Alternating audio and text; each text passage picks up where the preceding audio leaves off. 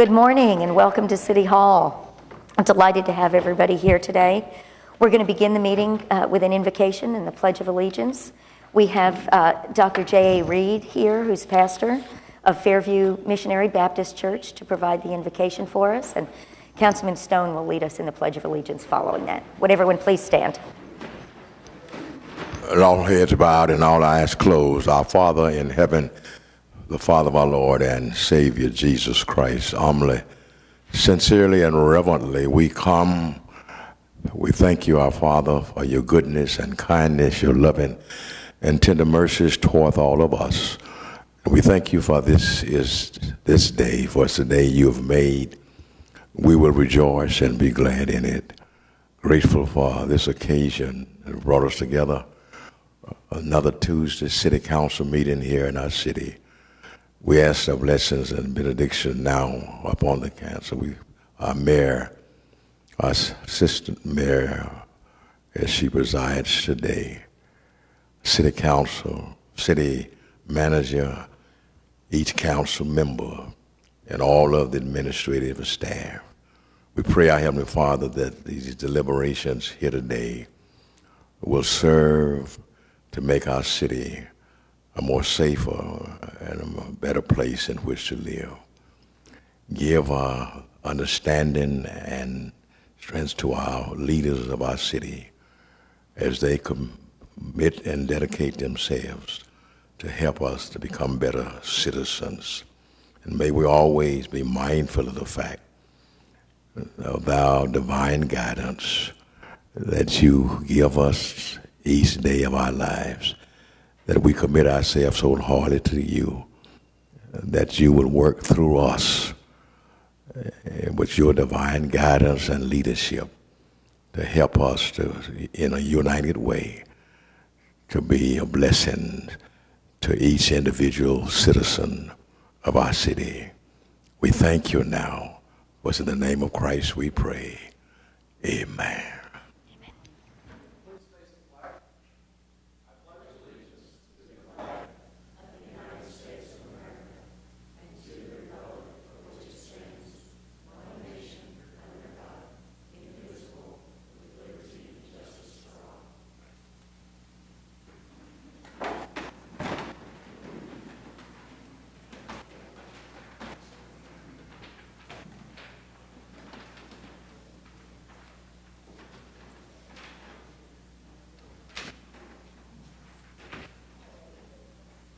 See, is that working already? Well, we have one citation that we're going to read this morning, and let me get in position to do that and ask our friends from the Stephenson Cancer Institute and the Oklahoma City Zoo to please come forward.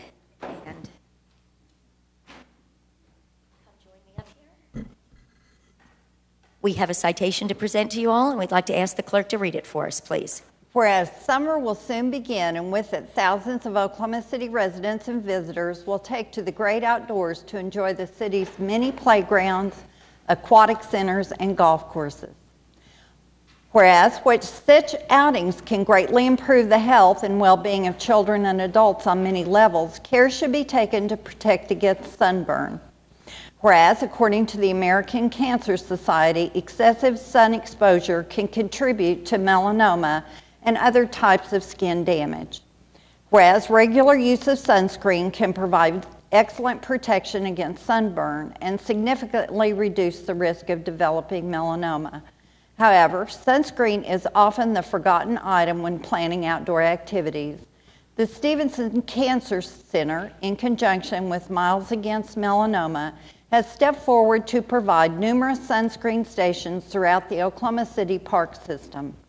The Stephenson Cancer Center is a nationally recognized leader in research and patient care and is committed to raising the level of cancer awareness and prevention among individuals and serves as a resource for patients, health professionals, and communities. Whereas the Stephenson Cancer Center's Sunscreen Dispenser Initiative is consistent with the objectives of the SunSmart City program, which is administered by the Live SunSmart Foundation with the goal of encouraging communities to live a sun smart lifestyle. Whereas the stations will be free to the public and stocked with SPF 30 sunscreen. Whereas to provide maximum benefit, the sunscreen stations will be placed at heavily used playgrounds, spray grounds, pools, family aquatic centers, and golf courses throughout the Oklahoma City park system. Now, therefore, David Holt, the mayor of the city of Oklahoma City, does hereby thank and commend the Stephenson Cancer Center for its commitment to protecting the health of Oklahoma City residents and visitors through its generous donation of sunscreen stations for free use at locations throughout the Oklahoma City park system. Thank you so much, Francis. Let's give them all a big round of applause for this partnership. You know, I think one of the things that we're most proud of in Oklahoma City these days is the number of collaborations and partnerships that we have. And I see our Parks Director, Doug Kupper, here. We're joined up here on the stage not only by the Stephenson Cancer Center, but by uh, Miles Against Melanoma and our zoo.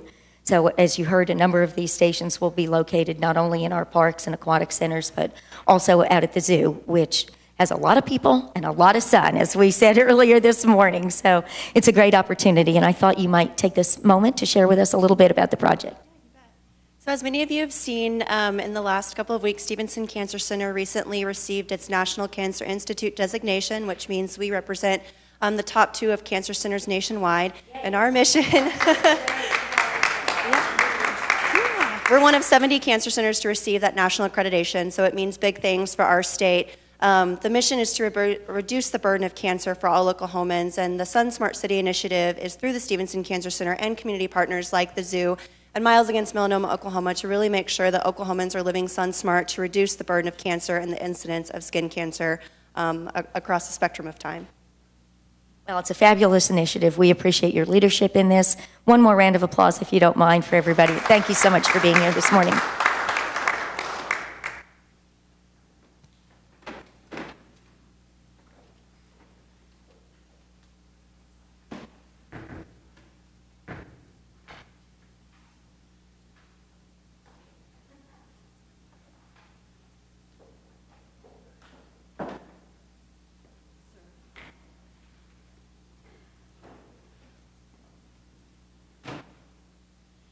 Sorry, you get an amateur up here, and I can't remember. I'm supposed to give them their proclamation, not just read it to them, but actually let them have it. So I think this is time to officially call the meeting to order. And item three are the um, items from Office of the Mayor. I don't believe we have any of those this morning. Uh, moving on to item four, those are the Journal of Council proceedings. Item 4A is to receive the Journal of Council proceedings for May 8th and 15th. And item B is to approve the Journal of Council proceedings for April 24th and May 1st. We've got a motion and a second. All in favor, please cast your votes. And that motion passes unanimously. Item five is the request for uncontest- uncontested continuances. City Manager? So, Vice Mayor, we have uh, several starting on page 27 under item 9D1. Item B, 3300 South Post Road. We ask that that be stricken. The owner is repaired. And then moving to item 9E1, H 904 South Pennsylvania. We ask that that be stricken. We need to re-notify. Item J 1402 Southwest 2nd Street. We ask that that be stricken. The owner secured. Item L 2501 Northwest 12th Street. We ask that that be stricken. The owner has secured. Item O 3001 Northwest 17th Street. We ask that that be stricken. We need to re-notify. Item R 2229 Northwest 33rd Street. We ask that that be stricken. We need to re-notify. Moving to page 28, under item W, 4006 Northwest 50th Street. We ask that that be stricken. The owner has secured. Item 9F1, 904 South Pennsylvania. We ask that that be stricken. We need to re-notify. H 1402 Northwest 2nd Street. We ask that that be stricken. The owner has secured. Item I, 2501 Northwest 12th Street. We ask that that be stricken. The owner has secured. And finally, item L, 3001 Northwest 17th Street. We ask that that be stricken. We need to re-notify. Great, thank you. Are there any other requests for uncontested continuance? Hearing none, uh, we'll move on to item six, which are revocable permits. We have one of those today, and our friend Chad Hodges is here to talk about the um, Oklahoma City Pro-Am Bike Race, which is coming up uh, June 1st through 3rd. Three locations again, Midtown, Film Row, and Automobile Alley. So welcome back, Chad. Thank you. Thanks for having us back. Uh, like Meg said, um, our event is June 1st through 3rd. Uh, we're the Oklahoma City Pro Am Classic, which is a three day criterium event. Uh, so, cycling. Uh, we race in Midtown, Film Row, and then Automobile Alley. Uh, this year, we also have a Fondo, which is a tour. This will be our third year for that. It's it's growing slowly but surely, uh, but it's nice because it offers something for cyclists of all abilities. And then we've also partnered with Red Coyote to offer a one mile run uh, Friday night and Saturday. So just different ways for people to be active uh, the first through the third. Great, and Chad, I think you also are doing this in conjunction with H and Eighth on June 1st, so uh, Midtown's going to be busy. Yes, ma'am. I hope it, it should be packed. It should be a really good time. Great, fantastic. Anybody have any questions? Is there a motion? And second, thank you very much. Cast your votes. And that motion passes unanimously. Uh, we'll now recess the council meeting and convene as the Oklahoma City Municipal Facilities Authority. We have six items.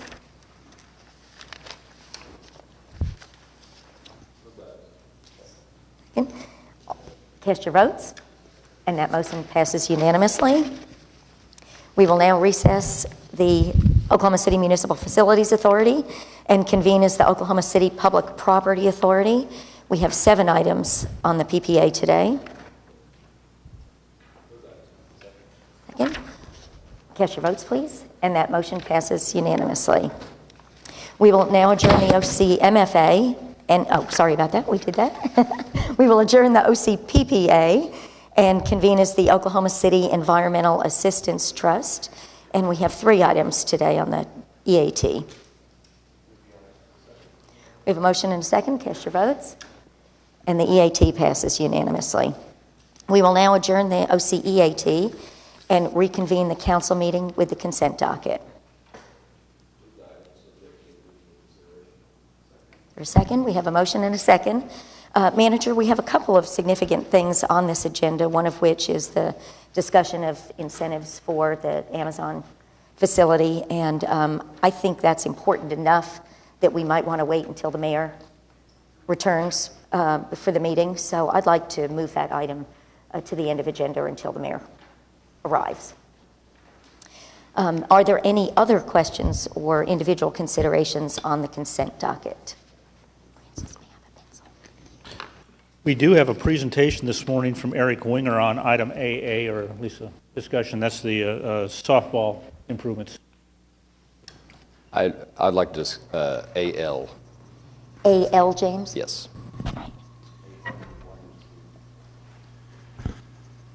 Ed AW1 and 2. Anybody else? Let's, should we go ahead with Eric and then So, we'll, so we do have a very good update this morning regarding the ASA Hall of Fame project, and this is going to be item AA for you this morning. Um, we did receive bids on this. This was a 2017 bond program project that was actually prioritized by the City Council with a lot of the commitments that were made to the NCAA. And as I kind of review this very quickly with you, what you're approving or being considered for approval today is the award of contract to Timberlake Construction Company um, in the amount of 18 million. $398,000 for the final two phases of construction activities to occur at the site. You might recall this project had four major phases. Two of those phases have been completed, but in the 2017 bond, this will allow the additional improvements to the lower level, providing connections um, to the first and third base team sides. It also has the concourse level improvements, um, which enhance a lot of the media functions. There's the upper concourse, which is two additional restrooms, again, additional ADA enhancements, and then the upper level seating, seating expansions as well. The thing to note is that this is really a two-year project, and so construction is expected to begin immediately this summer, but it will then subside for um, softball games next year. Um, so it'll be suspended, but then it'll resume the following summer in 19 to then race to completion. And so we're going to be working very closely with the schedules, the events there at the site, but very good bids. We had six bidders. All the bids were below our budget. We're also able to award the two ad alternates that were part of the project. So with that, I can provide any additional updates. Really, the big takeaway on this is that uh, we kind of timed the 17 bond issue because we had to make this commitment to- to accommodate the NCAA. And so uh, we had to do this expansion. Uh, We were able to bring it in within budget, we're on schedule, and so we are on track to keep the Softball Hall of Fame long-term in Oklahoma City. We're, we've got the contract, but we have to, if we don't perform, they can leave, and so we're performing, so we should be able to maintain that event here for, for a number of years. Wonderful. Thank you, Eric, very much. Uh, James, why don't we go ahead with AL? Yeah, AL is a, uh, it's a, I guess we call it a joint project between us and uh, ODOT for State Highway 4, which is also called Piedmont Road. Um, It's something that I've mentioned in the past. Uh, There's been a number of uh, fatal accidents out there, and so it- it's not, not the safest road. Um, But our, our part of the project is uh, uh, the right-of-way and utility improvements. Um, And so that, that's what this, this actual item uh, does. ODOT's construction plan is uh, to begin in 2019 and then be completed in fall of 2021. And so I just wanted to uh, uh, point that out, that the, the improvements are going to be from State Highway 66 all the way up to Northwest Expressway on, um, on Piedmont Road, so. Great. Thank you, it. James, very much. Um, Ed, AW, 1 and 2? Brent, can I, or I, anyone, um, I don't remember, of course, I have the memory of a goldfish sometimes, but I don't remember in past years, it would say that both, both of these incentives for, for job creation, it says the Greater Oklahoma City Chamber Economic Development Division recommends a local incentive package of 100,000 for Dura coatings, the 1.25 million um, on, for CACI.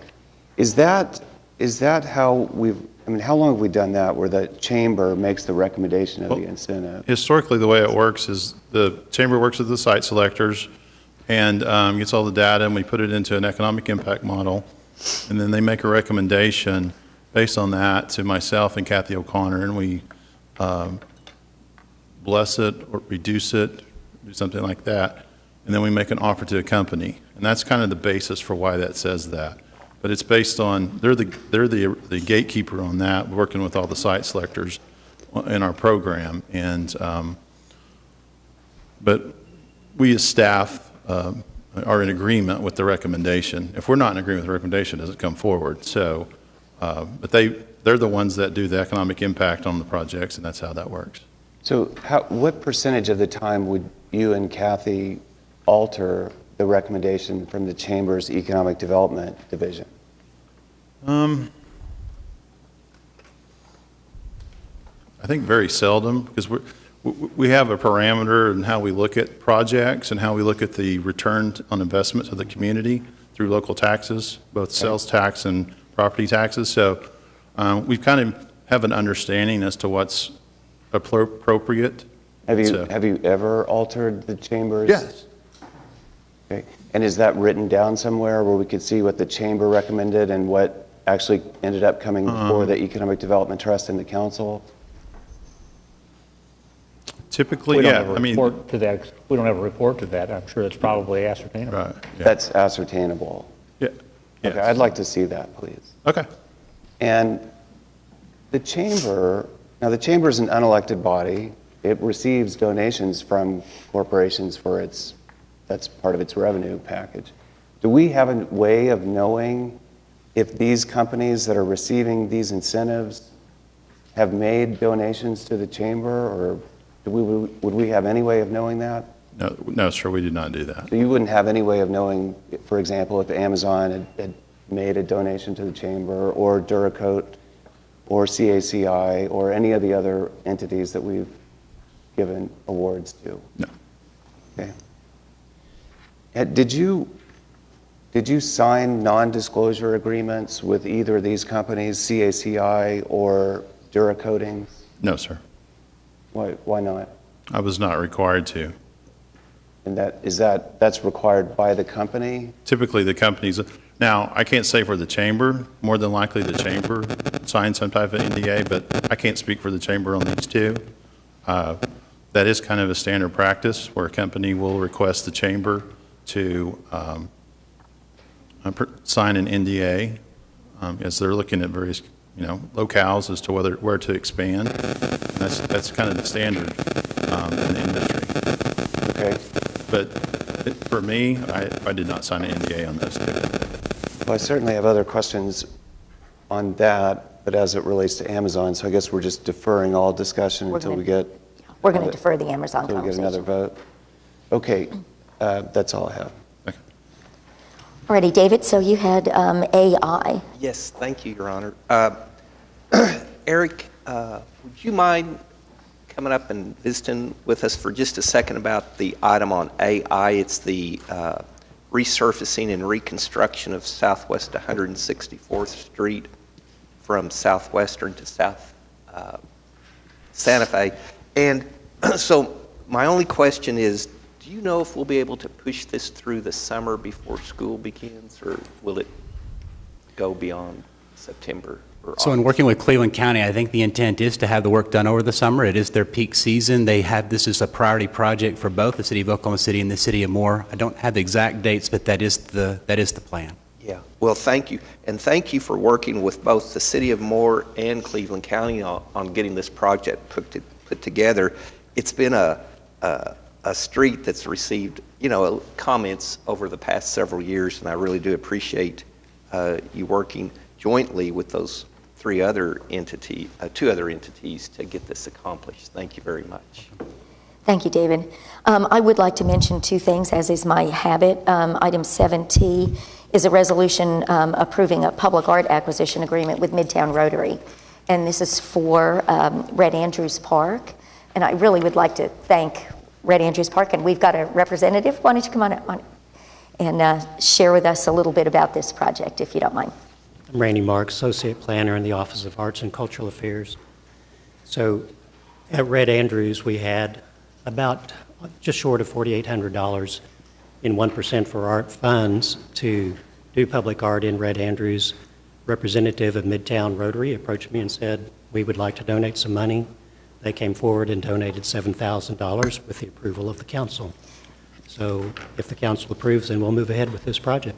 It's incredibly wonderful. And you might just mention um, 7U as well. I love some of these small, very small art projects. And this is a not to exceed $4,000 in Dennison Park.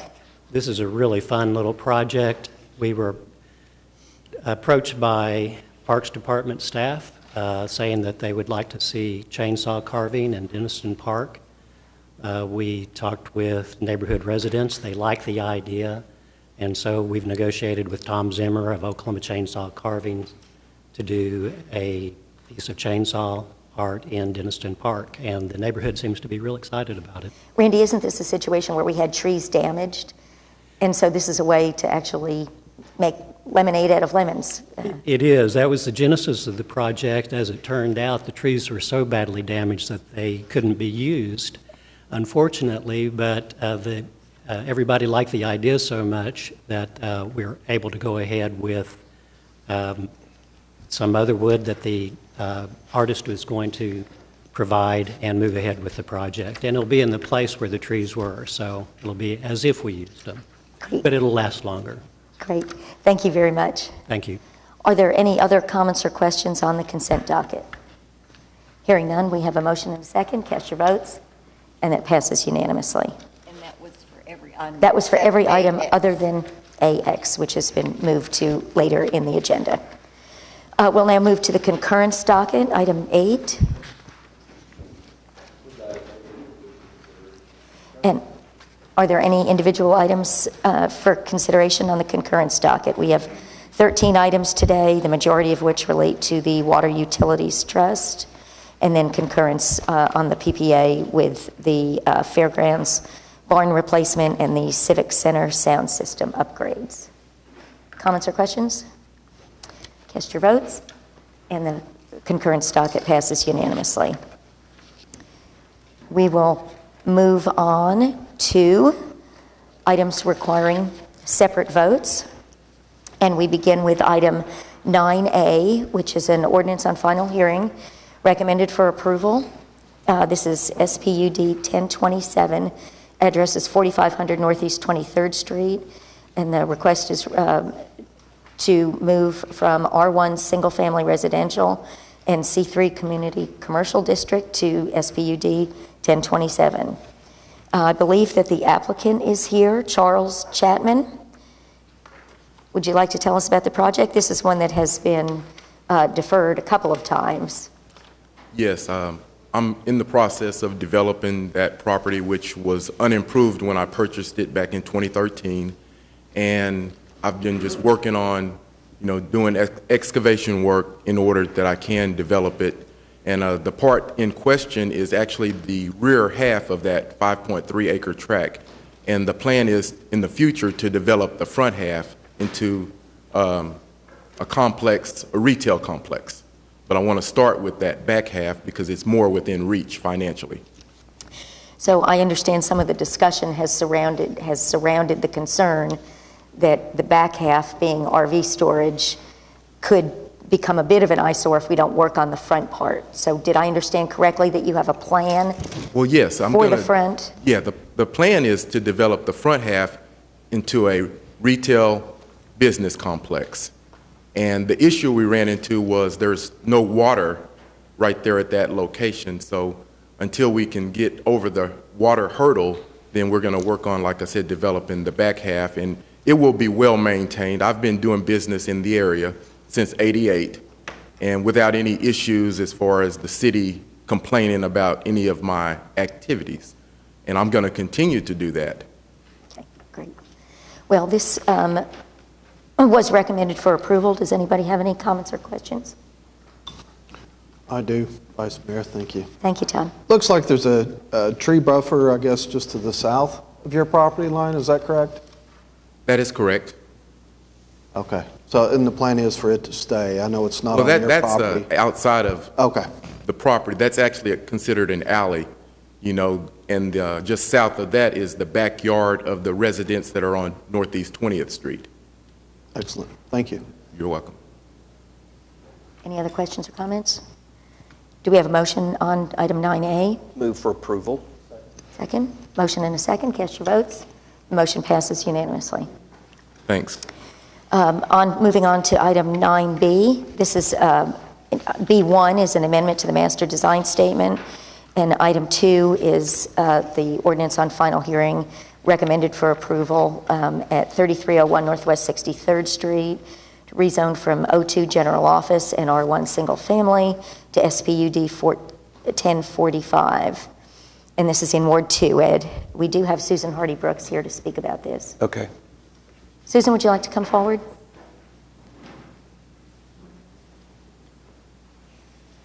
If you'd please give us your name and address for the record. Yes, Susan Hardy Brooks, 3304 Northwest 64th. Vice Mayor, City Councilmen, thank you for the opportunity to speak this morning. I am a lifelong Oklahoma City resident and a proud one at that.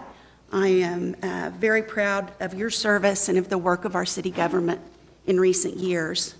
Um, I am very concerned about the plans for the change of designation and the uh, techno- technical specifications for the property. I am actually the next door neighbor to this property.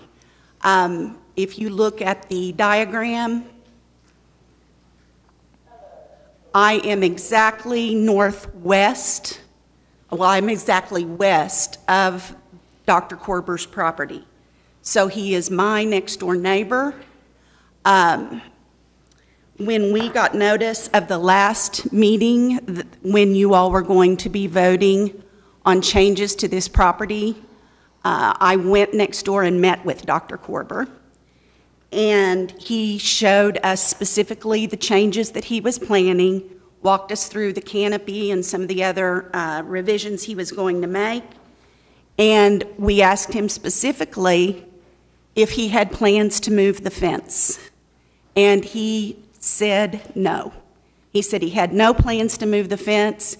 We asked again because there were stakes placed out near the street, uh, what the purpose of those stakes was, and he said that was just part of the surveying of the property, uh, that he might move the shrubs that are now the border, fence border, but that there were no plans to extend the parking lot or change the fence line. So I did not come to the last city council meeting when this was first heard. Uh, About a week ago, I pulled into my driveway after work, and two of my neighbors were out looking at the uh, property next door and the stakes. They came over and spoke with me. I believe they addressed you at the last council meeting when this came up before it was deferred. Um, At that time, they told me that the plans were to extend the fence line, and I was shocked and disappointed. So basically, from my front yard, right now I have a view of Independence Charter Middle School in the park. And now it will be the equivalent of having a six foot stockade fence in my front yard at my property line. Um, so if you just picture living in your neighborhood and your next door neighbor's putting a stockade fence six feet tall in front of your in the front yard. Um, so I am asking for another deferment today. I would like to meet with the with Dr. Korber and with the architects to see if we can make further revisions. Uh, they have brought a modification today that I got to see last night about 9 p.m. Um, I'm still not satisfied with the distance of the stockade fence that will impede my view, um, that will block half of my front yard, um, and that will, I am afraid, really impact my property value. It's a very lovely neighborhood. I bought the home about a year and a half ago, and um, it's difficult having a, a, uh, surgery center next door to me already, but it would really change the complexion of our neighborhood and specifically the property values of my home. Thank you. Ed, thoughts? Yeah, I mean, it's, so it's a little frustrating because, you know, we, we deferred it and we were going to have the meeting and then I, I'm getting emails saying that these meetings took place and that an agreement had been reached. So I'm thinking today that, that the neighbors met. Now, this is, this is their property. I mean, in, in my mind, they can do what they want on the property. They have to change the designation. It is right now designated single-family residential, and so they have to change, you all have to change the designation of the property To to SPUD. So they do not currently have the right to alter the property in that way. So this meeting that took place in the last week, you didn't attend that meeting? I did not, I knew a meeting was going to happen. I was not invited to the meeting, and it was not a formal meeting with residents of the neighborhood. I believe the architect met with the two gentlemen that spoke at the last city council meeting. Dr. Korber was well aware of my concerns about the fencing. He was either untruthful with me or he did not know when we met that he was going to be extending that fence line in the manner he has uh, decided to extend it. And so this, this modification that was agreed upon in, in that meeting that you didn't attend, but that you, I guess, saw yesterday, says, I saw the plans last night when I asked one of my neighbors to send. I think he received the drawing from the architect late last evening. what, So I've had no opportunity to have any dialogue with the architect or Dr. Korber, and I did not come to the last meeting because he quite dishonestly stated that he was not extending the fence. well, what would, what would you guys do? May may I ask a question? Yeah. Could we enlarge the picture a little bit, more focusing on the home? Uh, Yeah, right there. So may I ask you just a couple of questions? Sure. Do you have, have you had problems with the fact that it's, it's now uh, a business, a surgery center? I mean, uh, it looks like the only way you can enter it is off of Independence or 63rd, so it doesn't seem to create additional traffic, say, for your street, does it? There have been no traffic problems. Um, Dr. Korber has been a good neighbor. Uh, The only issue I've had is that that my bedroom is literally right across the fence from their dumpsters, and a couple of mornings a week at 6 a.m., uh, the trash is picked up. But other than that, I've had no issues. Okay, and many times when we have issues related to zoning, the people who are against it say, we want more, uh, we want six feet uh, fences, stockades, we don't want to see that. But you're saying you don't want the fence to extend out, say, to the street. Is that your concern? Exactly. That's my exact concern. So you can see the front facing side of my home, which faces 64th, Mhm. and you can see the shrubs that currently there are some brick columns and Right. shrubs across. Yeah. It's, it's not invasive, it's not bothersome. Um, What they're proposing to do is instead of the, the brick and the shrubs, Uh-huh. to build a six-foot stockade fence that will go most of the way, Out to almost to the street. curb of my, yes. Is, is there a reason, Ed, did they mention why they felt like they needed to take the fence out to the street? David, I It- think it- the applicant may be here. Oh, If you okay. wanna- Is that- Is the applicant or a representative of the applicant here? All righty, maybe you could answer some of these questions for us. Yeah, I mean, if that's Was that all right, Ms. issue, Hardy Brooks? Not to let the fence go forward, that would seem like an easy fix. Could, could we allow the applicant to come forward? Yes, Ms. Brooks, thank you absolutely. very much. Mark Ferris, 2933 South Bryan Avenue. I did meet with the two neighbors that live basically directly across the street last Thursday, and they made a request for some changes that after the builder and the business owner reviewed those, he agreed to make those changes. Those changes were put on this plan that's up above us and sent to uh, the two gentlemen that I met with, as well as the owner, as well as the city council office on Friday of last week. Um, I was not aware that there were any other protesters to this. This is the first I've heard of this. The plan has been, since the original submittal with SPUD, to extend the parking to the north. I cannot speak to conversations that Dr. Korber may or may not have had with anybody. Um, As far as the change that was proposed when I met with the neighbors last week, there is a hedgerow that extends along the common property line out approximately, I'm going to say about 14 feet from the edge of his existing parking lot. And it was decided with the neighbors that if we could pull the fence back to line up with the hedgerow that is along that com- common property line, that they would be satisfied with that. They do want a sight-proof fence because they live directly across the street and they would view the parking lot. Um, So they would like the six-foot stockade fence, as well as the plan is to landscape along that, the fence line. Um, The two stakes that, that the, uh, were mentioned, those are the property line stakes at the right-of-way, which is approximately 13 feet south of the curb line. The changes that were proposed is the fence will be then approximately another 11 foot south of that.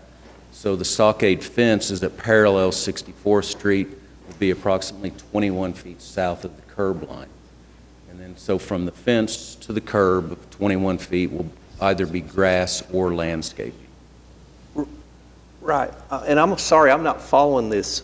How difficult would it be if the fence, so you're saying you'd like to have the fence running north and south to extend north up to where the fence running east and west? Yes, sir.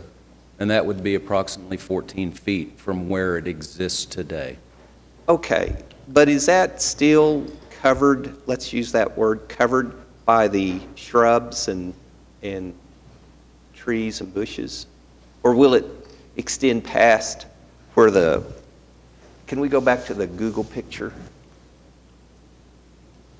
It's wonderful that we have Google to look at now, isn't it? Yes.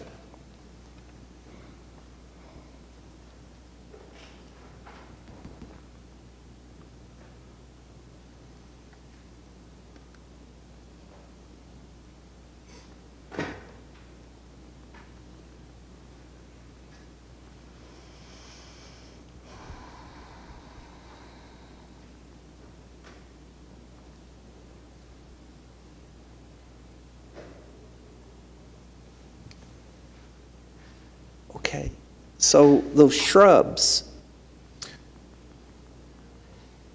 how far further north are we extending the parking lot? Can you tell me that? 14 feet. Those trees that are showing on Google, um, north of those trees are some short shrubs, and I'm going to guess that they s- extend vertically three or four feet. They're not anywhere near, they don't, as, as she mentioned, she has a view of the parking lot to the east and the school beyond. Um, That wouldn't obscure that view, the shrubs that are there. Well, if, if that's an issue, what about this? I mean, I'm not a, what if you, instead of a six-foot stockade fence, had like a five-foot wrought iron fence with the shrubs, you know, accompany that? You could still look out your window and see things, uh, and it wouldn't be disruptive to the appearance, I wouldn't think. It, the SPUD was written with a, with a six-foot stockade Yeah, can I- sight-proof I just and wanna- that's kind of a standard. One clarification is that the staff recommendation, they had three recommendations. One is that you could only enter off of Independence with one, there could only be one entrance Uh-huh. for cars. Right. The second is that the sidewalk on 63rd had to be maintained and, re- and maintained, Uh-huh. retained and maintained. The third was that you had a six-foot wood sight-proof fence um, in, in the back, or in the front, whichever. So that was the staff's recommendation, is that a six-foot wood sight-proof fencing along the street right-of-way of Northwest 64th Street shall be required. Well, I understand. I'm just saying, given the activity, it's not like it's a manufacturing plant or something that's a little bit, uh, Right. uh, you know, difficult to look at. It's just a parking lot. So just put in five-foot high shrubs with a wrought iron fence, be done with it. What do you think of that? I mean, I, An ornamental fence, there actually is an ornamental fence along that with, with the shrubs. Those, those shrubs are red, red-tipped photinias, and it's, and most of them have died back and are dying, which is not uncommon for that plant variety. Um, As far as swapping out the six-foot stockade sight-proof fence for an ornamental fence, I don't see that as, as an issue. However, the property owners across the street might have a different opinion. And that's what I was wondering is, uh, so you were able to get a concession with the neighbors across the street. Wasn't that based on the six-foot sight proof? Yes, sir. Thank you. so what, she's asking you for another deferral. Ms. Hardy Brooks, would, would an ornamental fence rather than a stockade fence be acceptable? That to would you? be helpful. My preference would be that the fence not extend um, that far into the front yard of my house, regardless of the height. Right now, you can see that the front of my house lines up with the uh, end of the parking. And if the fence, regardless of how high, moves out, moves north 14 feet, you can imagine what that does to my front yard and um, having fencing, you know, literally in my front yard. Very unusual. So right now, you don't see it because the setback lines up with the front of your house, Right. essentially. Right. But by pushing and it out there 14 is no fence there. There are brick columns and the shrubs, uh, but there is no wrought iron in between the brick columns currently. Um, That's the reason I'm requesting a deferment. I think as a courtesy and as a good neighbor, that I should have been given an opportunity to meet with the architect and with the neighbors, and I was not given that opportunity. So um, rather than taking time of the city council today, I would prefer the deferment and an opportunity to renegotiate with Dr. Korber and my neighbors. Is there anything time-sensitive about this? And are you concerned? Applicant. Ed, are you? Are you, are you amenable to, one- and I really appreciate your patience, I appreciate you meeting with the neighbors and doing everything that we asked of you two weeks ago. Would, are you amenable to another deferment to meet with her and talk about the, My honest opinion about it is, I don't think there's going to be any type of agreement unless it's on the type of fence. Um, This property, excuse me, has Fine. been um, a surgery center for over 20 years in this exact configuration. Um, It is a state licensed surgery center, so not only do we have to comply with the changes in the zoning, but we also have to comply- comply with the state health department. And They are inquiring as to why it seems to be taking so long, which is understandable, Uh, but we'll certainly defer for two weeks if that's the council's pleasure. Okay, I mean, I'm, I'm inclined to move forward, but, I mean, in deference to you, I mean, they're going to do a second uh, deferment, so let's, I mean, I would move for a deferment and come back in two weeks, and hopefully you guys can talk about the type of fencing, and we can bring this to a conclusion. Is there a second on the deferral? Second. Ready? All those in favor, cast your votes. And the vote passes unanimously. Thank you. That would be, that'll be June 5th is the date, okay? Thank you guys very much for the discussion. And can, Item, can I, I'm sorry, Meg, can I, can we have the other two gentlemen also in that meeting, or anybody else that might have? Because, because it sounds, okay. okay, moving on. Item 9C is an ordinance on final hearing that establishes a reserved parking space for the physically disabled on the west side of North Hudson uh, um, and Northwest 6th Street. This is in Ward 6. Is there a motion to approve? Second. Thank you. There's a motion and a second. Cast your votes. Passes unanimously. Moving on to uh, item uh, 9D is a public hearing regarding dilapidated structures. Is there anyone here in the audience hoping to hear or m- make any remarks on the dilapidated structures? Seeing none? Thank Second. Motion and a second. Cast your votes.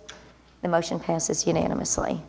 Item 9E is a public hearing regarding unsecured structures. Is there anyone here hoping to speak on unsecured structures? Second. Second, we have a motion and a second. Cast your votes. That passes unanimously. Item 9F uh, is a public hearing regarding abandoned buildings. Is there anyone here hoping to speak on abandoned buildings? We have a motion? Second. Is there a second? Motion and a second. Cast your votes, and that passes unanimously.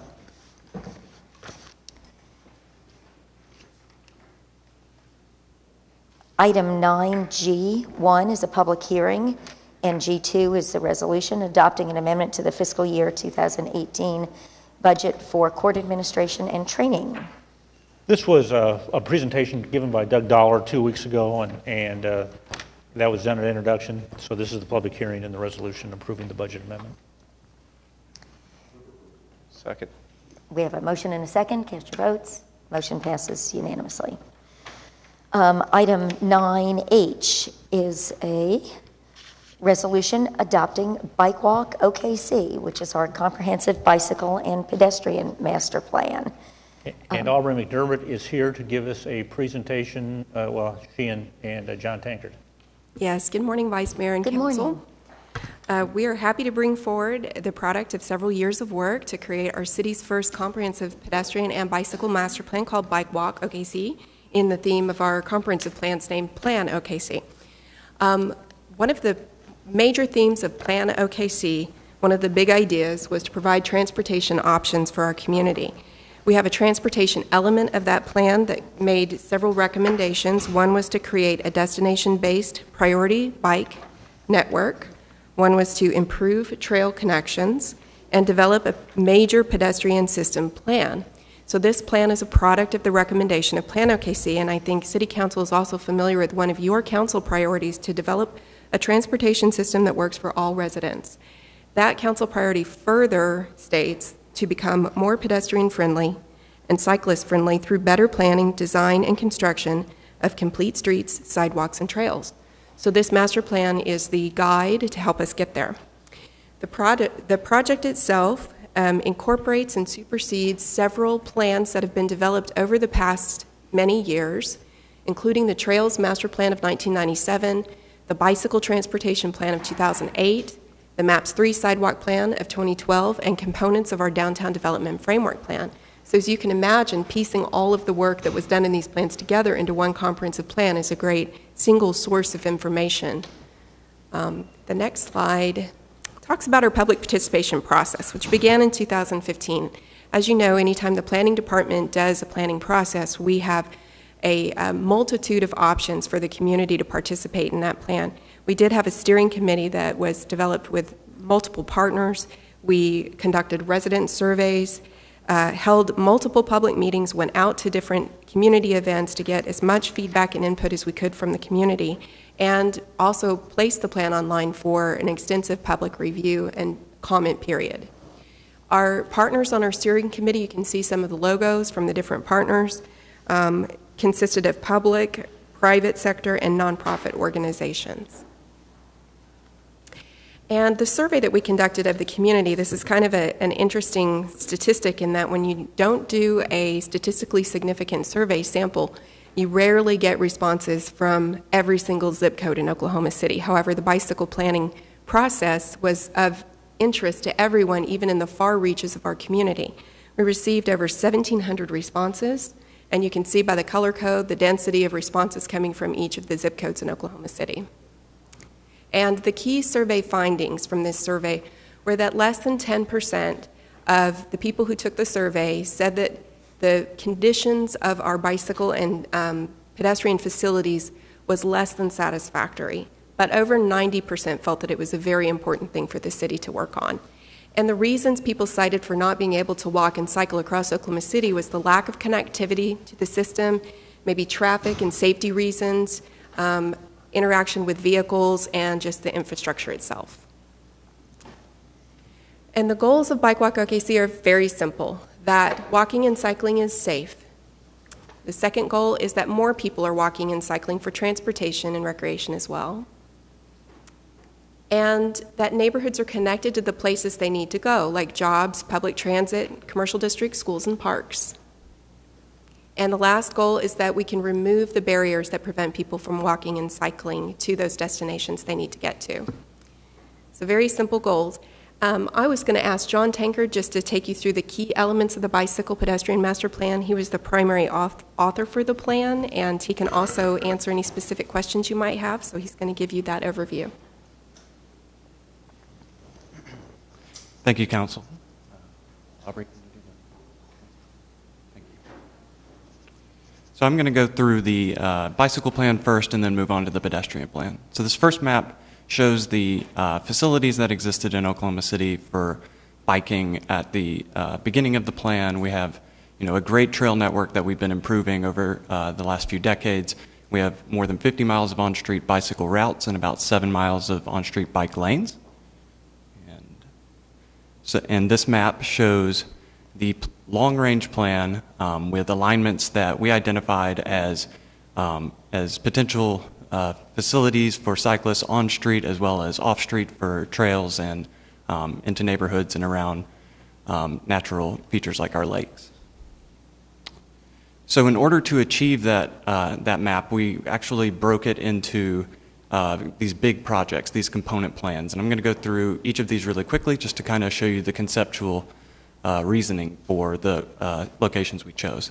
So, the Grand Boulevard obviously historically uh, wrapped the city in a green belt, and over time it became disconnected.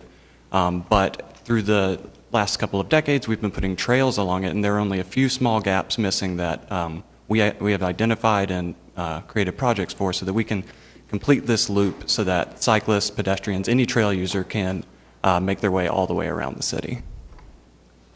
Uh, to, to enhance that, uh, we also are looking at or uh, we also propose crosstown connections. So this is the idea of an east-west and north-south spine through the city that go through some of our densest uh, residential areas and provide access to and from public transit, parks, schools, and commercial districts. Um, as far as trails, like I said, we've uh, made great progress on trails, and we uh, see the same happening in um, other cities around the metro area. And so this plan calls for creating connections to and from those other trail networks in the region.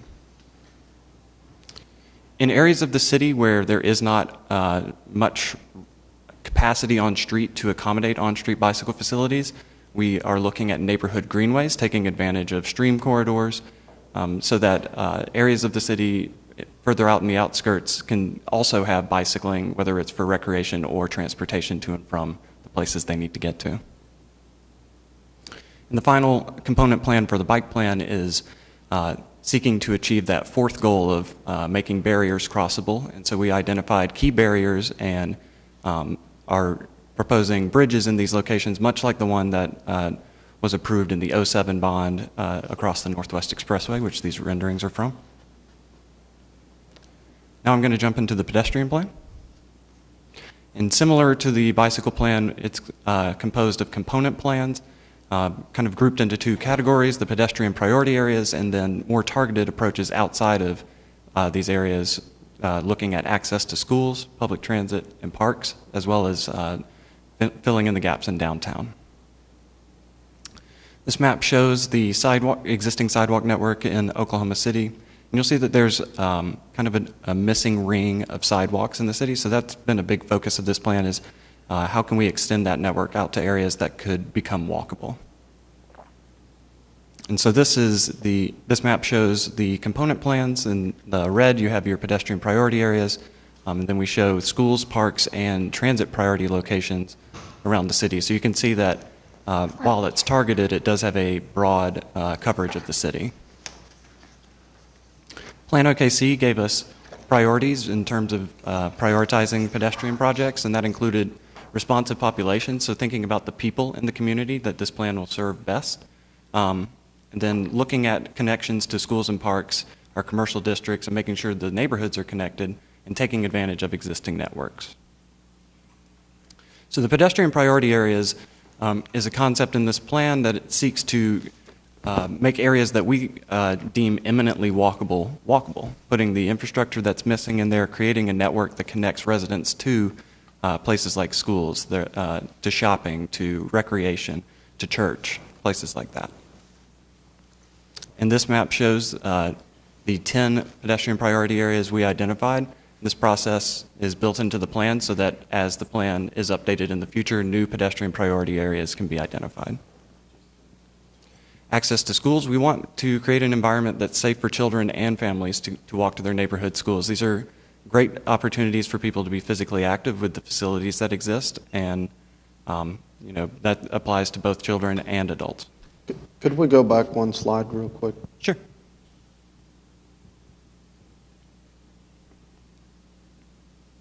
Thanks. And this map shows our initial prioritization, which was looking at how many people live within a walkable distance of a school. And so we've identified our top 20 and are using that to start prioritizing uh, pedestrian projects for schools around the, the city. Similarly, we looked at access to public transit. We want to make the pedestrian component of public transit convenient, safe, and dignified. And we worked uh, hand in hand with uh, COTPA, our transit agency, to identify the best locations around the city. And so we, uh, we arrived at a top 20 location just to sort of get us, get us started with um, you know, a list that we can work with. The next one is access to park, parks, and similarly, we want to facilitate uh, movement to and from these locations. Great place for our citizens to be, or our residents to be physically active. This map shows uh, data that we gathered in partnership with the OU College of Public Health as well as the UCO College of Environmental Health. We actually had students go out and uh, inventory all of the pedestrian infrastructure assets around these locations so we can know exactly what's missing and turn that into a project. In the same way that we prioritize the top 20 for park or uh, for schools and transit, we did that for parks. And the final uh, component plan of the pedestrian plan is downtown. Um, with all of the momentum behind Project 180 and the streetcar and all of these things, there are some gaps that uh, can still be filled in to further enhance the, the new development and public investment that's ongoing. And so the plan identified every missing link in downtown and um, organized those into projects. And I'm going to hand it back over to Aubrey to talk about implementation. Thanks. The last chapter of the implementation plan is basically just um, calling out the projects and then the sources of funding that can help us implement this plan. Fortunately, have already uh, been established in the 2017 GO bond, plus the Better Street Safer City sales tax. We have received several federal grants to implement sidewalk and bicycle infrastructure. So these sources of funds are, will be leveraged to help us implement this plan over time. The plan itself is meant to be reevaluated and be flexible and have iterations as we go into the project development so that if there are engineering concerns with those streets, we can go back and evaluate the best type of facility and location for those projects. So this is great news that we do have funding to help us right off the bat start to implement our pedestrian bicycle master plan. And we're happy to answer any questions you might have. I, I have a few questions. I, I mean, I love the goals of this plan, and, and it's clear you guys have put some great work into this. Um, I do have some concerns that I know there are a couple areas that I know of that I think need help. Now, I could be mistaken, and maybe they aren't prioritized. Maybe they're only prioritized in my mind. But uh, so if we approve this plan, when I come back to you and say, hey, I need some help in a certain area that I know is underserved, is the answer going to be it's not part of this plan? Well, we, we use the prioritization methodology in this plan to highlight the greatest needs, and we would certainly evaluate whatever project came forward from the community or council to determine if those needs rise to the level of priority of funding. Um, the Better Street Safer City Board has been reviewing those prioritization criteria for this plan. And so any project that moves forward would be placed kind of in that, in that view. And for example, I think in your ward, there might be some locations where you have destinations, you're trying to connect people to schools. Those would certainly be brought through that process to evaluate how many people are needed, how far the connection is needed, and for consideration for Better Street, Safer City funding. Thank you.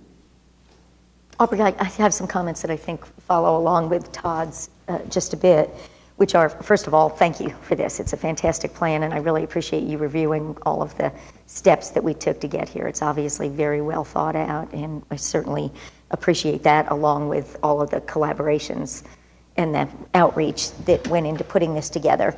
But I, I do need to share that in the last couple of days, I have had some concerns expressed, uh, particularly about EK Gaylord and the amount of traffic um, on that street and the speed at which it moves.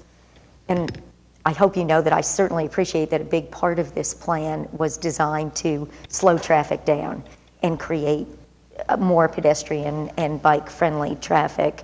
But, um, and I think you mentioned this, so this may be a redundant question, but I would like to ask um, if we approve this today, that we recognize that this is a, still a work in progress, and that while the framework is there, that we take a look at some of the specific concerns, particularly as it relates, I think, maybe Gaylord to parking as much as to the bike lane mm-hmm. situation.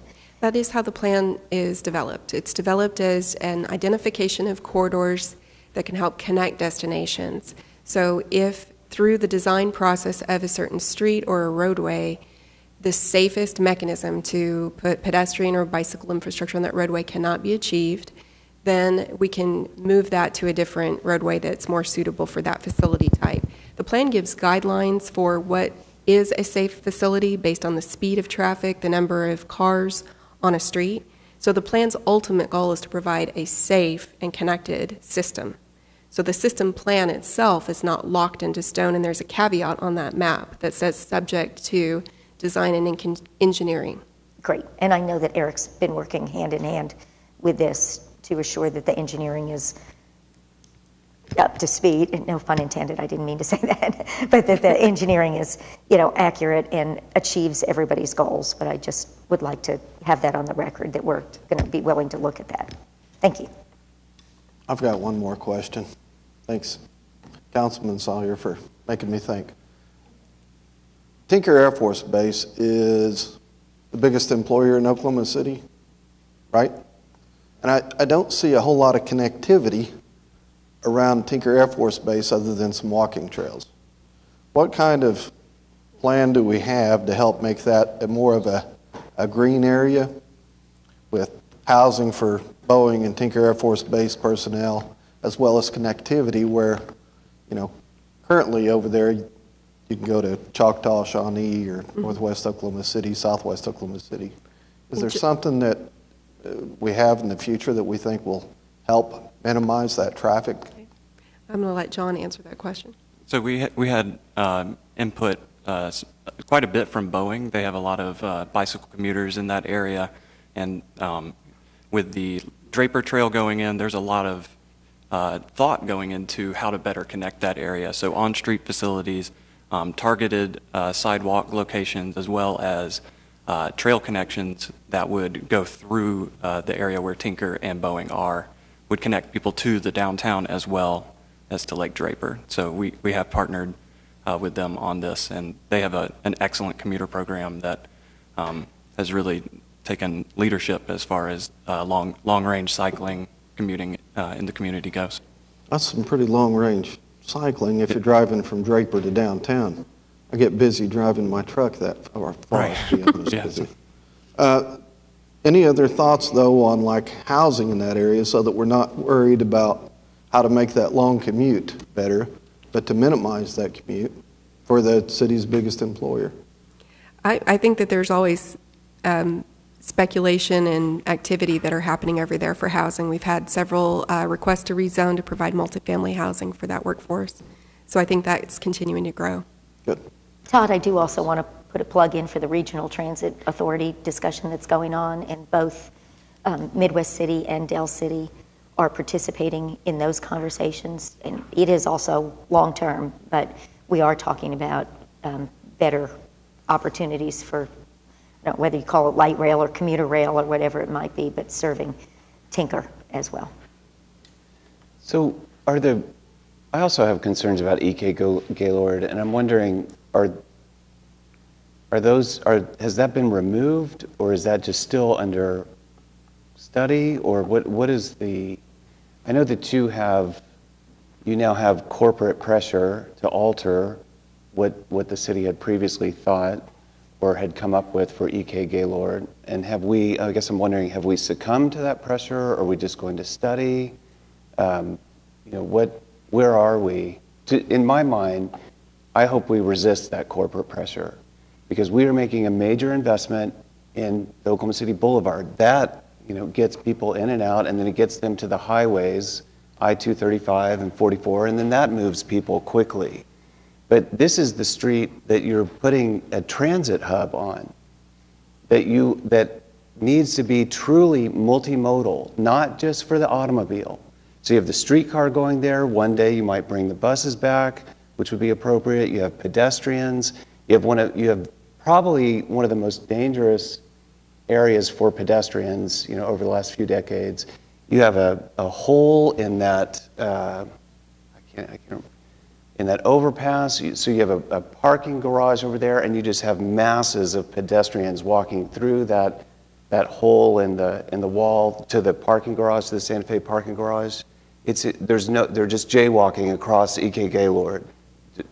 Uh, that, that has to be one of our highest priorities for pedestrians. That's because they don't walk, you know, they just go through that hole in the wall right by that surface parking lot on the, on the east side of Gaylord, jaywalk across Gaylord to the Santa Fe parking garage. That's got to be a high priority. Um, moving pedestrians through there, right next to your transit hub, to me seems like one of the highest priorities for pedestrians, for bicyclists, for the streetcar, for the buses. And I just hope that we don't succumb to this corporate pressure to once again prioritize the automobile far above everything else. We, a lot of thought went into how to make EK Gaylor- Gaylord better for all these modalities, and now we have this last minute pressure. Uh, and, and I just I hope that we resist and we make it truly multimodal and we and we make it a really functioning transit hub. But to do that, you're not going to be able to just prioritize the automobile and have them move as fast as possible uh, so that people can get to their suburban homes. Appreciate that comment. Thank you. Okay, I've got some comments. Mine are a little bit more optimistic or favorable. I think there's been dramatic improvement with sidewalks and walkability and uh, rideability, especially in the suburban areas. Now, there's still areas that we can work on, but in the last 10 years, especially in Ward 5, when we see sidewalks go in, it really changes the dynamics of that neighborhood. You see, you automatically see more people walking and just getting around. So I would encourage continuing to do that. Uh, I would like to say that I believe there's a little bit of a distinction between, especially from a biking standpoint, between out in the suburban areas where uh, traffic speeds tend to increase and the uh, experience of the drivers dealing with bicyclists begins to decline. They're just not as used to it compared with the downtown area where people anticipate uh, to encounter bikers uh, and they're just more, uh, I think, cautious and aware of the potential for bikers.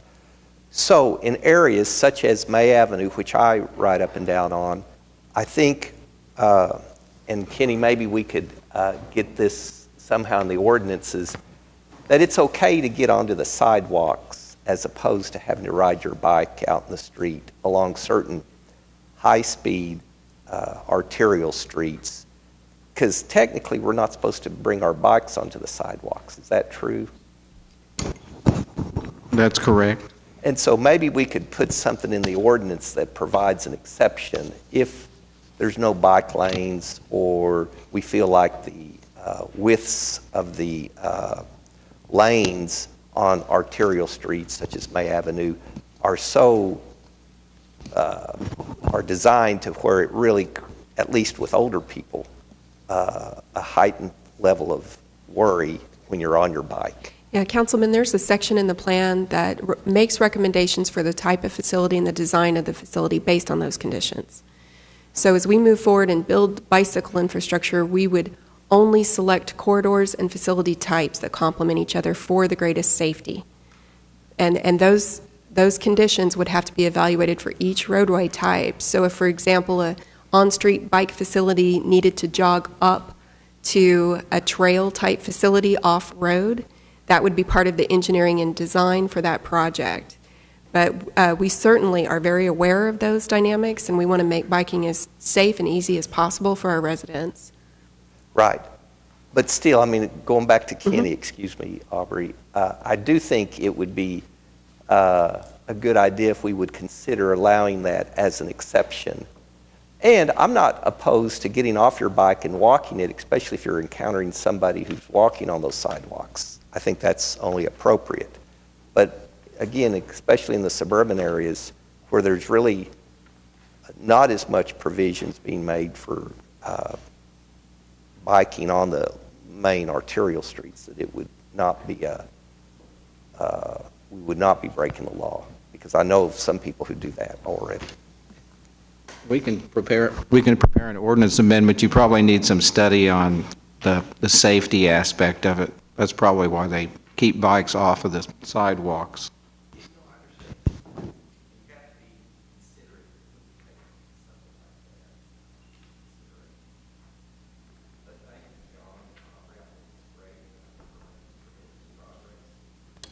And I anticipate that will only continue in the future. Thank you. Thank you. I would make a motion to a- a- approve the plan. Second. Okay, we've got a motion and a second. Are there any other comments from council members or questions? We have a citizen who signed up to be heard on this item, and that is Joe Beth Hammond.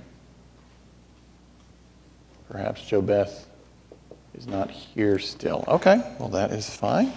Uh, She said she wanted to speak in favor. Okay, we have a motion and a second. Any further discussion? Seeing none, cast your votes. The resolution, item 9H, passes unanimously. Moving on to item 9I1, resolution adopting the Community and Neighborhood Enhancement Program Project Implementation Plan. And I believe uh, there is a presentation. There is a presentation. It's kind of a big step today, uh, uh, kicking off this plan, and Eric Wenger is here with Aubrey to do this. Thank you, Mayor and Council. Um, We're very pleased today to present um, a lot of months of work um, following the Better Street, Safer City initiatives that really kicked off and uh, in full force with the first um, advisory board meeting being held in January. So what you're going to see today is the presentation of the implementation plan, the first implementation plan that they're recommending to you as council for projects to proceed.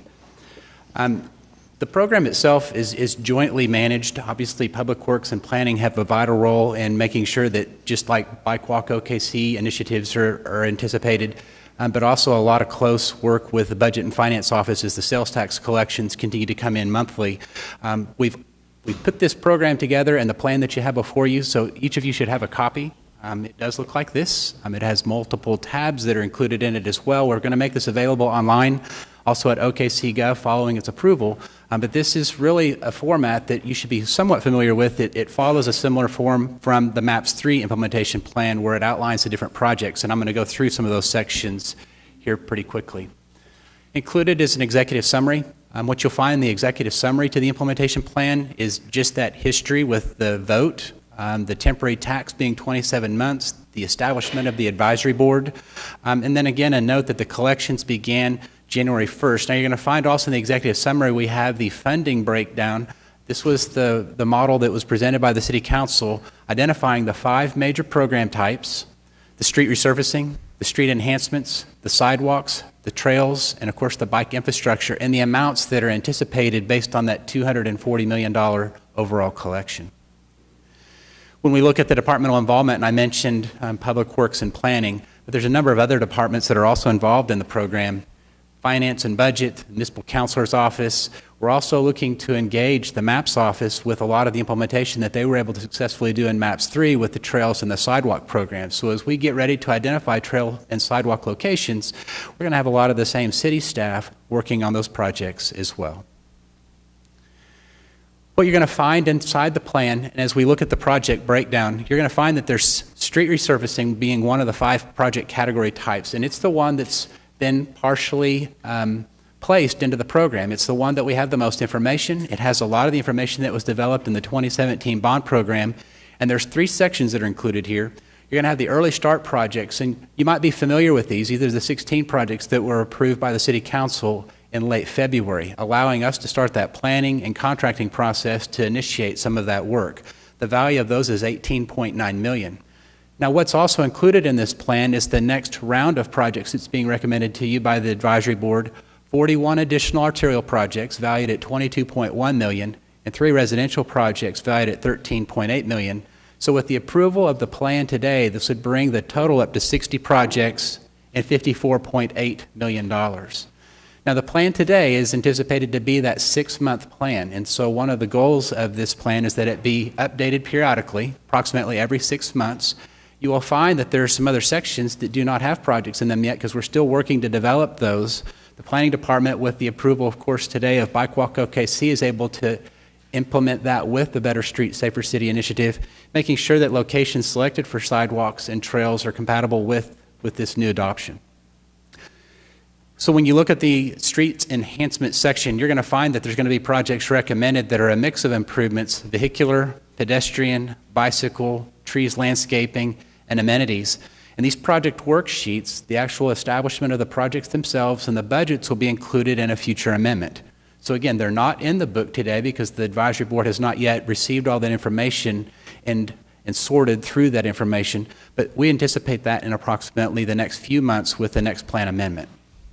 The same would go for sidewalks, pedestrian project priorities including connectivity to schools, networks, neighborhood revitalization, and commercial district. Again, those project worksheets, once those projects are prioritized, the list is developed, will be brought back to the City Council for approval.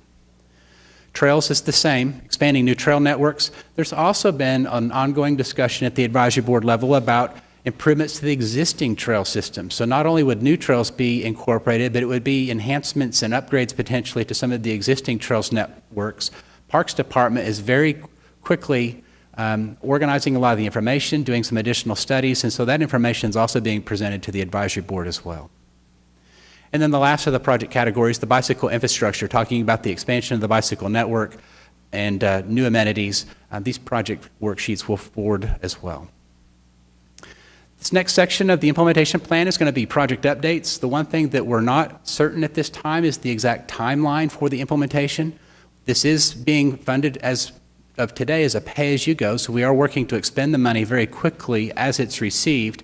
But as we get the other project categories with project worksheets approved um, by the council, we'll be able to establish a general timeline on how we're going to accomplish all the construction over the 27-month collection period.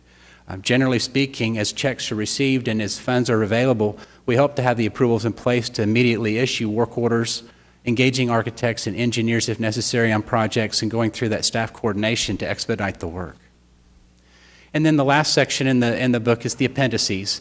Um, this is where you'll find, and of course, this is a great resource being made available online, but it's also a resource for our advisory board, the history, including the ordinance, the advisory board resolution, and then we also have the first financial summary that's included in the document as well.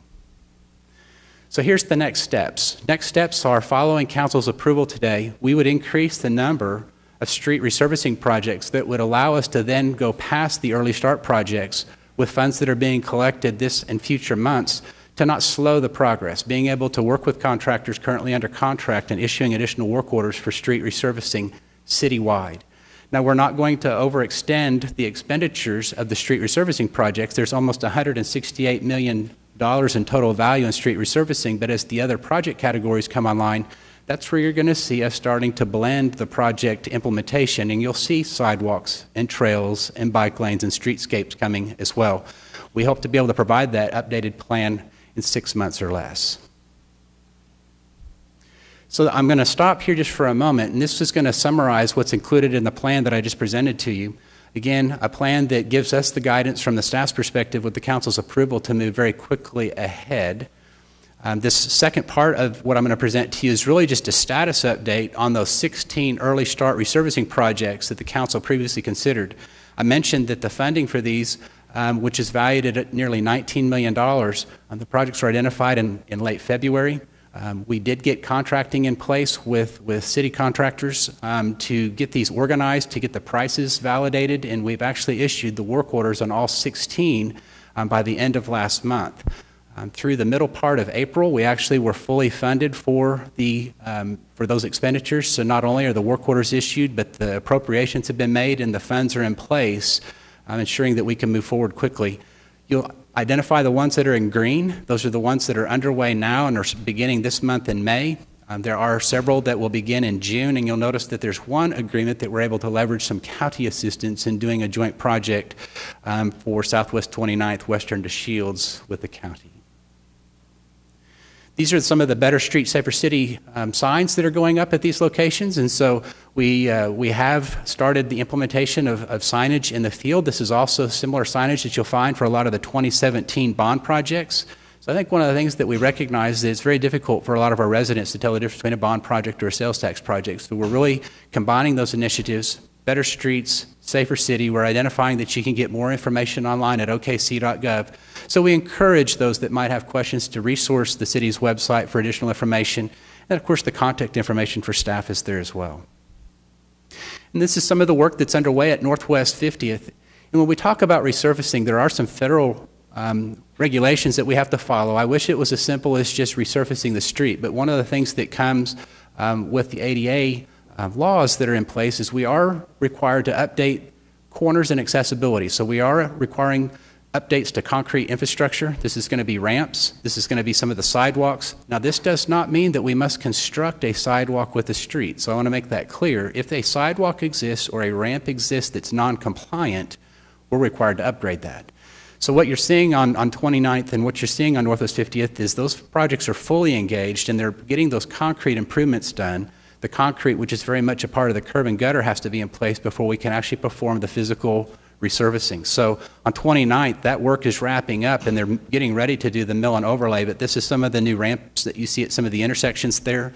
You'll notice the tactile warning strips that are being placed. Again, those are ADA compliant, uh, making sure that when the project's completed, it is a complete project, not just from a city, but also from a state and federal perspective as well. These are some more of those examples of those completed concrete um, portions of the project, which are all wrapping up on Southwest 29th. This is Portland Avenue. It's also underway. 44th to 29th, this is some of that concrete re-ramping work that's underway. And again, you'll see the tactile warning strips that, again, are a warning device for those before they enter into the intersection that they're actually leaving um, the sidewalk and entering the street. Another photo of Portland. And I believe this is our final one. And again, we upgrade, uh, upgrade a lot of the pedestrian signals at that time if those are required as well. So you would visit these sites today. This is what you can expect. These photos were taken just in the last week. Now, I note these just as to what you can expect. These are not early start projects, but these are projects that we've recently completed in just the last month. This is Southwest 44th. Again, a very similar project type, upgraded um, amenities. You'll see the street resurfaced and it recently restriped, but this is what you can expect on the 29th, the Portlands, the Northwest 50th, and the other early start projects in just the next few short weeks. The resurfacing itself only takes about a month. It's about a week of milling, there are some repairs that are done to that street. Then there's a week of resurfacing, and then there's the week of putting all the striping and some of the other components back in place. Now, barring bad weather, we're in that four to six week time period of completing these projects. This is another photo of 44th in its completed form and what you can expect um, with better streets, safer city, and a lot of the arterial resurfacing. This is Walker Avenue. Um, this one has not been striped yet, and the reason that you see some of the cones in the street, they're actually bringing those valve covers and those manhole lids up to the finished grade of the asphalt. Um, they have a concrete collar that goes around them to make sure that they're flush and that they're protected. The contractor there is just about wrapped up, and so the striping is expected later this week. This is where they're laying out the new crosswalks, and again, as we provide those accessibilities, yes, it's all about resurfacing, but it's also the upgrades to the other amenities that are especially at those corners. So that's going to wrap up my update this morning. Um, so again, before you is an implementation plan for your consideration and approval. It's the first of many. Uh, we've got many months ahead. There's many more projects to come online. Again, this is about a six-month look ahead for the street resurfacing. As monies are collected in the next in several months into the summer, we, with your authorization, will launch into those additional 41 projects and, and continue to make improvements citywide. Um, I do want to compliment the council on your selection for the oversight members. They're, they're very engaged, they're very serious about taking this on, and, and uh, the board's been working great so far. So thank you for your uh, due diligence in getting good people on, on those boards. Great. Is there any more, anything else? Um, Any comments from council on this? Um, Certainly, our gratitude to your teams and, um, and then the advisory board as well for all of their work. I, I would just echo, keep up the good work. There's a lot going on out there, and I've driven a lot of the, when you show the final product, I've driven a lot of those, and it's fantastic, so. And I try not to complain about potholes and construction in the same breath. I always tell people pick one or the other, so. I would definitely pick construction over potholes, and thank you and your staff. When we would reiterate, construction's inconvenient. There will be barricades, there will be temporary lane closures, but kind of one of the messages that I tried to relay last time is these are not widening projects. These projects don't take months and months. These projects are done very quickly with that temporary inconvenience. But hoping that some of the photos that we showed of the completed work um, will go a long way as we do a lot of miles of, of street in Oklahoma City. I, I think the citizens are really beginning to, even in this early start, see some real improvements. So it's very exciting, Eric. Great. So I need a motion and a second for item 9I1. Got a motion and a second. Any further discussion? Seeing none, cast your votes. Passes unanimously. And then there's also item 9I2, which is a resolution approving allocation of Better Streets funds for projects recommended by the advisory board uh, totaling about $35 million. Is there a motion for that? Motion and a second. Seeing any no further discussion, we'll cast our votes. Passes unanimously. Okay. Now we're moving on to items 9, J, and K. These all relate uh, to Councilman John Pettis and Ward 7. Last week I received his resignation letter uh, from the council, which is effective May 31st. That triggers certain responsibilities on our part, which includes the uh, fulfillment of the position both on the short term basis and a long term basis, which is really two separate processes. Um, Item 9J uh, accepts the resignation and also discusses our appointment of a interim council member. And if you see in the resolution, I think it is worth noting that we are uh, calling for applications to be submitted starting tomorrow through next Tuesday. We will then consider those. Uh, There is no timeline set for that, um, although we are obligated to complete our process by the end of about June. I think we all sense the urgency to move as quickly as we, as we can. Um, And so that is, that is item J, and maybe I'll stick with that for a moment. Are there any, uh, is there a motion? Okay, motion and a second for item 9J. Is there any discussion? Seeing none, we'll cast our votes. That passes unanimously, and that leaves us with items 9K1 and 9K2. Now, this relates more to the long-term uh, fulfillment of the Ward 7 vacancy. Uh, That calls for a uh, filing period in mid-June. There will be three days at which candidates may uh, file to fill the position for the next three years um, as, as the Ward 7 uh, current term is only a year in. And then we also would have an election in late August. Um, That's all set out here, August 28th. If necessary, if no candidate received a majority uh, of the total votes, there would be a a general election. Some might call it runoff, but in the terminology of our ordinance, it is a general election on November 6th.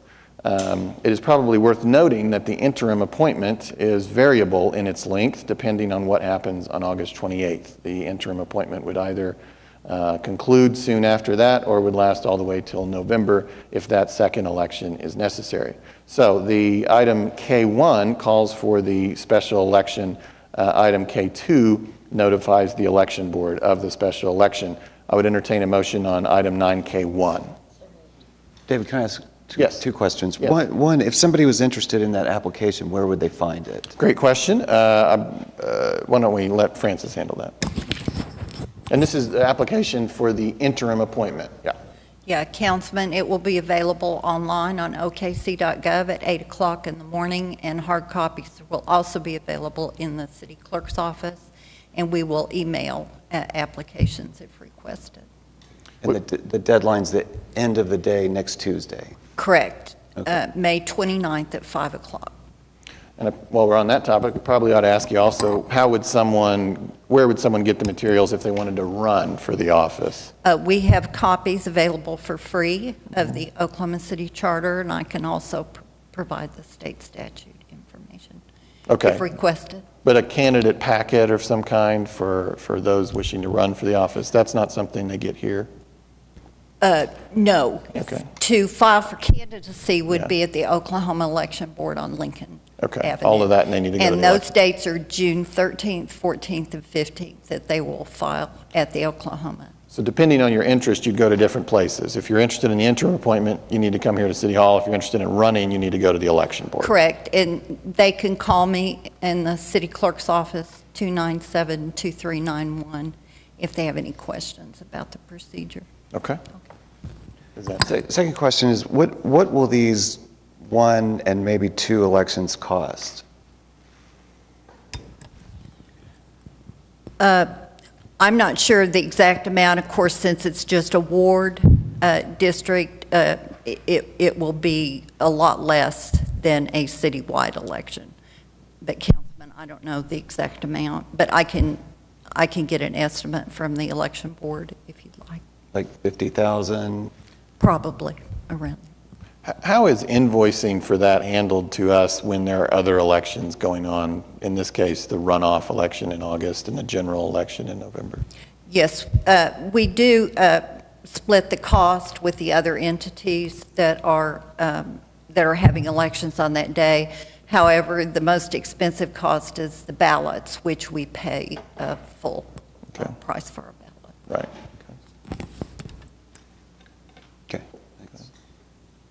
Any other questions on either K1 or K2? I forget, did we get a motion on K1? We need a second. Second. All right, we have a motion and a second on item K1, uh, 9K1. Any further discussion?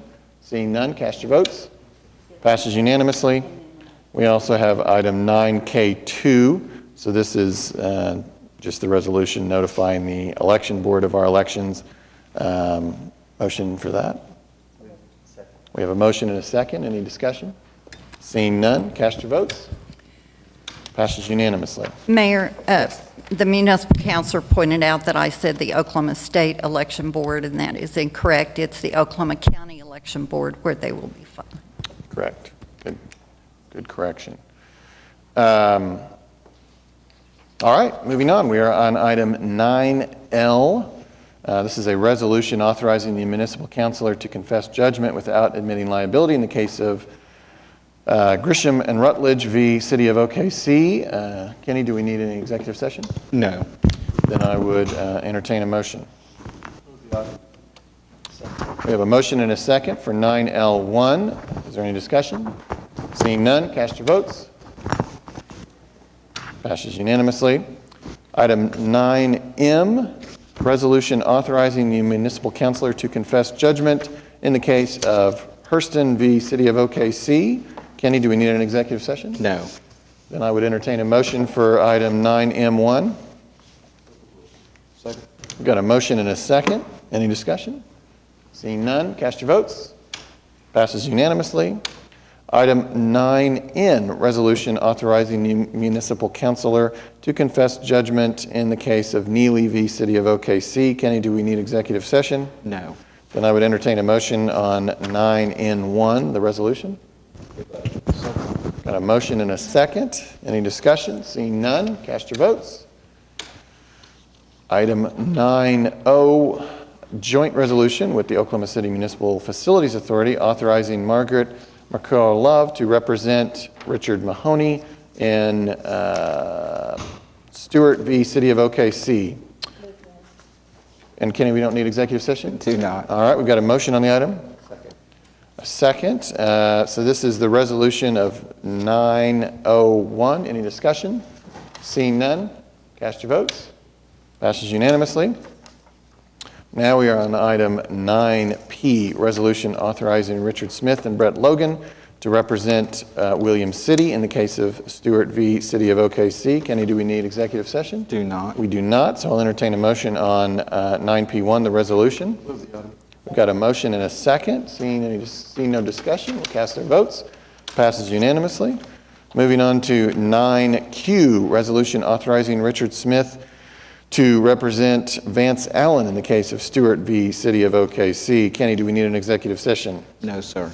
We do not, so I'll entertain a motion on 9Q1, the resolution. Got a motion and a second. Seeing no discussion, we'll cast our votes. Passes unanimously. Uh, Now we are on item 9R, and Kenny, we will need a uh, executive session on this uh, litigation with Cusack Wholesale Meats Company, correct? Yes, yes. Okay, we've got a motion and a second on executive session. Uh, Cast our votes. That passes unanimously, and so we will uh, leave that for the end of the meeting. After our other business, we will go into executive session. Item 9S, uh, claims recommended for denial. Uh, Kenny, do we need executive session? We do not. Uh, Any uh, discussion or motion? Got a motion and a second. Seeing no discussion, we'll cast our votes. Passes unanimously. Uh, Item mm, 10, we've made it to 10A, claims recommended for approval. I do not believe we need an executive session here. Uh, I'll entertain a motion on not, on 10A1 then. Okay, uh, motion and a second, seeing no discussion. Cast your votes, passes unanimously. All right, now we will return back. I understand that uh, we left aside item 7AX, joint resolution with the Oklahoma City Economic Development Trust approving the allocation of GO bond proceeds in an amount of $1.7 million to provide job creation incentives uh, uh, for job creation economic development agreement with Amazon.com Services, Inc. And uh, again, it's my understanding we did not consider this item or hear a presentation or anything, so we'll, we'll return to that now. Uh, And uh, Jim, I believe you have a presentation from Brent Bryant? We do. Yes, sir. Yes, Ca- Good morning, council. Um, Today, I want to just go over some brief um, facts related to the Amazon project. Um, for your review. Um, Start with the first one. The project's located at 9201 South Portland. Um, Project Amazon will lease a uh, 640,000 square foot build, build-to-suit facility from a third party. Uh, The project requires a capital investment exceeding $140 million. That $140 million also includes $4.1 million worth of infrastructure, um, which we'll, I'll get into that in, on the next slide. As relates to jobs, Amazon currently has around 39 full-time jobs in Oklahoma City. They anticipate creating a total of 1,750 jobs uh, at the site with annual payroll in excess of $45 million. Approximately 53 of those jobs will be full-time facility management positions. Uh, And Amazon has told us they considered various sites in the Midwest and southern states for this project. The key terms with, the, with Amazon include uh, the creation of 53 new-to-market jobs at an average salary of around $60,000, investment of at least $40 million of private taxable uh, um, investment, which includes facilities, equipment, and the public infrastructure. The city will provide up to $1.7 million in performance-based incentives. Incentive will pay- be paid out over a three to seven-year time frame. Um, This, this project, like I noted earlier, was, is for 1,750 jobs, but not all 1,750 jobs uh, qualify for our program, and uh, those 53 jobs do. And so, uh, but as a result of incentivizing those 53 jobs, it will result in 1,697 new jobs with average wage of between 12 and 14 dollars an hour, with a 129 million dollar economic impact in the first two years, and the estimated local sales and property taxes will exceed 4.8 million in five years.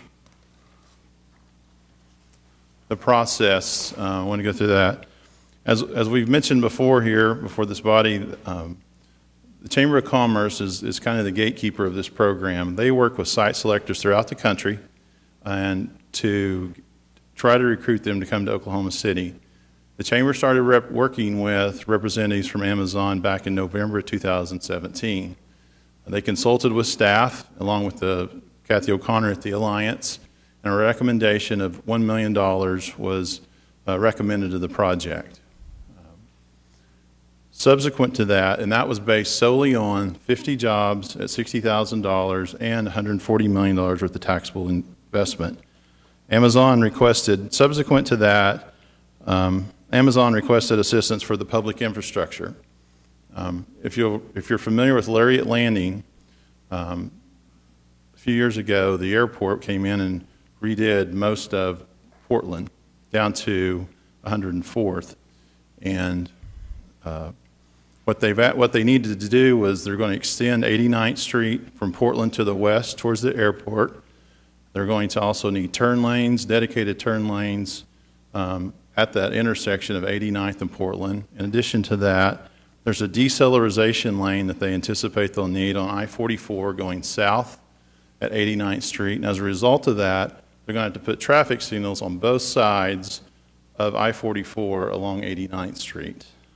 Um, We asked for a list of all of those infrastructure requirements that they were seeking our help with. Uh, We worked with the Public Works Director, the Assistant Public Works Director, identified those, and as a result of that, we identified certain uh, things that we believe were more regional that uh, we could help participate in. Uh, We identified about $1.4 million. It's roughly a few turn signals at 89th in Portland, and then the decelerization loan, lane on I-44, along with the, the two uh, uh, traffic signals on both sides of, of the um, I-44. Um, And what we did is we offered to pay for half of that. Um, Back in 2012, uh, this council, the Economic Development Trust approved an amendment to the Strategic Investment Program to include funding for infrastructure. We formalized that, so we believe that fit within the uh, program. The key thing on the $700,000, they still have to create the jobs. They will fund it up front, and they will be paid as they create the jobs. Um, So, and they have to do those certain improvements. If they don't do those improvements, um, they would not be provided the $700,000. So it's very uh, important you know that. So um, the process, um, subsequent to providing them the recommendation for a million dollars, they did, when they made their final application, actually um, increased it to 53, um, but we did not change anything on the million dollars, and it stayed at a million. So the next steps would be, with your approval today, would be uh, the negotiation of an economic development agreement based on these key terms that are provided to you. And then we would, the earliest we could bring that back to the trust would be June 26th, and then, or July 24th, and then subsequently meetings with the city council. Uh, we anticipate them breaking ground next month, along with, uh, with the completion in June of 2019. And we would not expect our first payment to them to occur until sometime in 2020. So uh, with that, I'd be happy to answer any questions. I have a, I have a question. The economic impact number that you, that, that's always given here, is that a net impact or a gross impact? Do, do we, and basically the, what I'm meaning is, are we taking into account uh, net losses from, because, I mean, to, to say that there's just going to be 1,700 new people here having jobs, I mean, obviously those people are going to be moving from another job. Uh, and so do we count all of that? It's a gross number. It's a gross number, okay, good. And um, I have no problem with the 700,000 because that is uh, them coming in, contributing to the public infrastructure, and we are, we are contributing to it. The, the problem I do have is the, is the million dollars. And, you know, generally whenever I, whenever we talk about these jobs incentives, I don't like any of them. Um, and that's why whenever we went through the whole process through the bond project that I voted against the, um, against the, uh, the economic, um, economic development package as a councilman. I, I, voted on it here. I voted against it as, as a citizen in, in the voting booth. Um, and the main reason for that is because I don't think businesses create jobs because of the incentives. I think they create jobs because they need more workers to produce more products and to provide more services. Um, and they get the incentives just because the incentives are there. But that's where I think the policy decision was made was at the, uh, whenever we were discussing the, the bond package. So the, the voters voted for it, and which is why I voted in favor of the last two that were on the consent docket because I think that I, I think that those were um, aligned with how we should incentivize it based on uh, based on what we talked about. Just a few numbers. Um, for uh, CACI, we, we gave them $1.25 million for 550 jobs. Uh, that equates to $2,273 per job. Duracoatings, we gave them 100,000 for 49 jobs. That equates to $2,041 per job. Um, if you just take the million dollars and take that $700,000 out that we're uh, proposing to give to Amazon, that equates to 18,000 $863 per quality job. So in the end, um, I'm, I'm probably going to vote for that unless something really changes my mind. But um, I'm, I'm, probably going to vote against this, and that's the main reason why is that I don't think that this aligns with the other two. And I know that it's because of the uh, because of the other investments that they're making, but all those are private investments that they have to make anyway when they come here. I mean, they, they aren't going to be able to run their business how they want to run it without doing those things. So um, I, I really don't know why we're incentivizing that aspect of it. And because that is a very short term um, gain that some other business could come in and do that as well. So, um, yeah, that's, uh, that, that, that's my view on it, and um, I'll be done now think this is kind of a teachable pinata about everything that's wrong with economic incentives. And I think that this particular incentive package is one of the worst to come before us. It is basically, to me, the Stockholm syndrome of economic development, where we pay eight times our average allocation per job of that's 32,000 for these jobs if you include the infrastructure versus an average on all the other projects of 4,000 per job. We pay our tormentors, those who have denied paying sales tax to us over the years and decades, those who have cost us retail jobs, those who, who are going to come in and cost us more retail jobs, hurt our small businesses here in Oklahoma City, and we are paying them to eat everybody's lunch. There are a myriad of problems, starting with why did this, why so fast? Why are we hearing this today, 11 days after it was first publicized to the public? If it's not for the purpose of minimizing public discussion and public awareness about it, we, until I ask for a deferral, right, you got a red eye flight from Las Vegas because you and Cathy were at the shopping association meeting. There was not going to be you or Cathy or anyone from Amazon here today. Four days after the public heard about it, it was at the Economic Development Trust. 11 days we're here. The, the answer to Jim Roth at the Economic Development Trust about public transportation, Amazon likes this site because of, of bu- bu- bus service. There isn't any bus service to this site.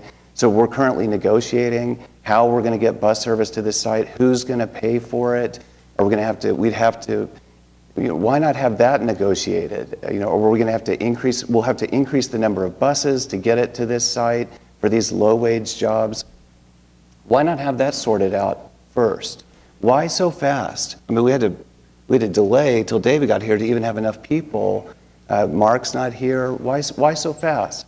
The second thing is why sign non disclosure agreements? My understanding is that you were required to sign a non disclosure agreement that not only didn't let you talk about it three or six months ahead of time. That I understand. If you have, you know, if you have a, a big company that comes in, you don't want people speculating on land and driving up land prices and or another city competing. But here you had this going on the airport trust land, right? You're not going to have speculation. This is going on the airport trust. But your non-compete, what I heard you to say last week, is that it, it prohibited you from talking about this until it was released on the Economic Development Trust agenda that Friday afternoon. That to me is severe, far, uh, far more than is required, and serves only to suppress public discussion and deliberation and involvement in the process. And that's why you, just two weeks ago, when I asked you, when you were talking about the strategic investment program, I asked you, could this qualify? And you had the answer, uh, I think that's something that might qualify, rather than actually two weeks from now, it's all going to be wrapped up. Two weeks from now, we're going to be right back and it'll all be over. You couldn't answer that way because you had signed a non disclosure. What, what would be wrong? That's a policy decision, right? That's the council allowing a city employee to sign a non disclosure agreement that doesn't allow him to talk to anyone, including city council members, about it until four days before the vote. What would be wrong with the city council having a policy that you get this all wrapped up, you get, you get the, the agreement made, and then there's a minimum of 30 days before it comes before the council? I mean, that to me just seems, if nothing else, an improvement in the process because this is just too fast and these non disclosure agreements are too extreme. And they serve only to protect these corporations from public scrutiny, which has markedly increased because Amazon has done this over and over and over throughout the country. And Good Jobs First did a study in late 2016, and their efforts towards secrecy have increased after that study. In terms of the merits of the uh, award, it is clear that their business model originally was to locate these warehouses in select places where they didn't have to pay taxes. So they didn't create a nexus where they had enough of a physical presence to have to pay sales tax. Then, as that started to change, and states like Texas went after them and they started to have to pay t- uh, sales tax, they moved into the prime business model, which is where, at a loss, they, they deliver services the same day, next day, or even the same day. You cannot do that unless you have a physical presence in every major market. So, what we're seeing is Amazon creating these fulfillment centers in every major metropolitan area in the United States. And this build, they build it not in the zip codes where you have the highest incomes, but right next to them and at airports. They're building an air hub in Louisville. They are building, they are going to try and compete with delivery with UPS, FedEx, uh, eventually. So they have to be at the airport and near high incomes, inco- uh, high income zip codes, which is exactly what they're doing here. They are going to do this no matter what. They are do- where th- this idea that they that they proposed it to other s- states and cities around us. They're already doing it. They're already doing it in Dallas, in Tulsa. Where are they going to go if they don't go here? Where are they going to go to to get same day delivery to the people of Oklahoma City, the 1.5 million people in the metro area? Actually, each one of these fulfillment centers. We learned at the Economic Development Trust has a 100 mile radius. So they service a 100 mile area. So you, so you do Tulsa, you do here, you're, you're done for Oklahoma. But you have to do it here, and you have to do it near the airport. And you have to do it for this business model where the, whether we pay them anything or not. One out of 10 jobs are retail jobs, but it only takes Amazon 50% of the number of people to deliver, distribute those goods. So you will see as Amazon doesn't want to dominate the marketplace. They want to be the marketplace. They want commerce to go through Amazon, and they're already halfway there online. One out of every $2 spent online goes through Amazon. 50% of all online searches begin and end on Amazon. 90% of small businesses in a survey of more than 850 small businesses feel their small businesses being negatively, adversely impacted by Amazon, and they're being forced to go on the Amazon website to do business. Harvard Business School study says that then what they do, Amazon does with their algorithms, you have to rise up the algorithms for people to see you, is that as you start to sell goods and do well, Amazon then starts to sell the same goods against you. Amazon then, then starts to punish you with higher and higher fees. Amazon is competing against our small businesses in so many different ways that we can and cannot appreciate at this time. They are hurting our local small businesses. They are hurting employment. They are going to decrease the number of retail jobs, which is 10% of all jobs. And we're paying them to do it. If, it, if they're going to do it, if, the free, if this is what the market is going to bring to us and Amazon is going to do then, let them do it. But why are we going to go borrow money, borrow money and pay interest on that for 20 years to then pay them to eat everybody's lunch? It's one thing if they do it on their own. It's another thing for us to pay them to do it to our people and our businesses, which they, they are going to cost us. This is going to hurt us jobs, Brent. And it, I just don't see the evidence based public policy making. I didn't see it in the Economic Development Trust meeting. I didn't see the kind of questions that Amazon needs to answer in front of us.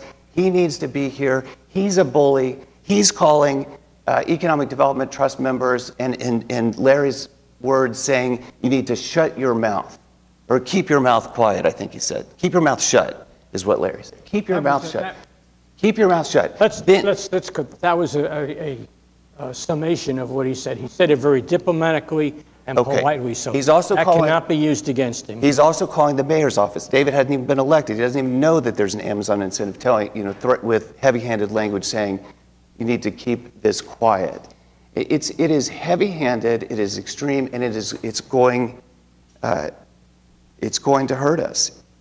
Uh, estimates are 150,000 jobs have already been lost by 2015 from the dominance of Amazon in the, uh, in the marketplace.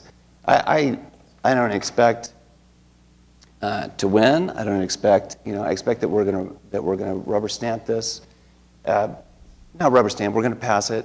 But all I'm asking, I'm asking a few things. Is that the process be improved, right? That it needs to slow down. There needs to be more public awareness. We need to change the non-disclosure agreements. We need diversity of thought on these economic development trusts. Diversity is not just about ethnicities or gender or sexual orientation. It's also about diversity of thought. And we don't have it right now. And, and that's, now we have an opening on the Economic Development Trust, right? You've got four lockdown votes on the Economic Development Trust, right? So now you have an opening. I'm not, I, I get it. I'm, I can be abrasive. The supermajority of the council thinks I'm an ass. You're partially right, right? At least, okay? So I, am not, but James, Todd, they would, they have a diversity of thought. They're not uh, abrasive. They, you know, we need more, we need diversity of thought on that trust. We need people asking these corporations uh, tougher questions, right? Asking them how, you know, how, what is the net loss of jobs here? What is the net impact on jobs? Not just considering these things in a vacuum, Brent. Not just considering the economic impact in a vacuum, but also trying to figure out what it's going to do to our existing businesses and figuring out what the net economic impact is, what the net impact on jobs is.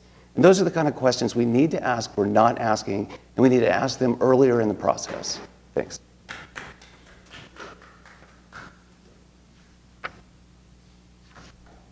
I don't know if there was, uh, there, there was a lot to unpack. There was anything you actually wanted him to answer? And, okay. No. Okay.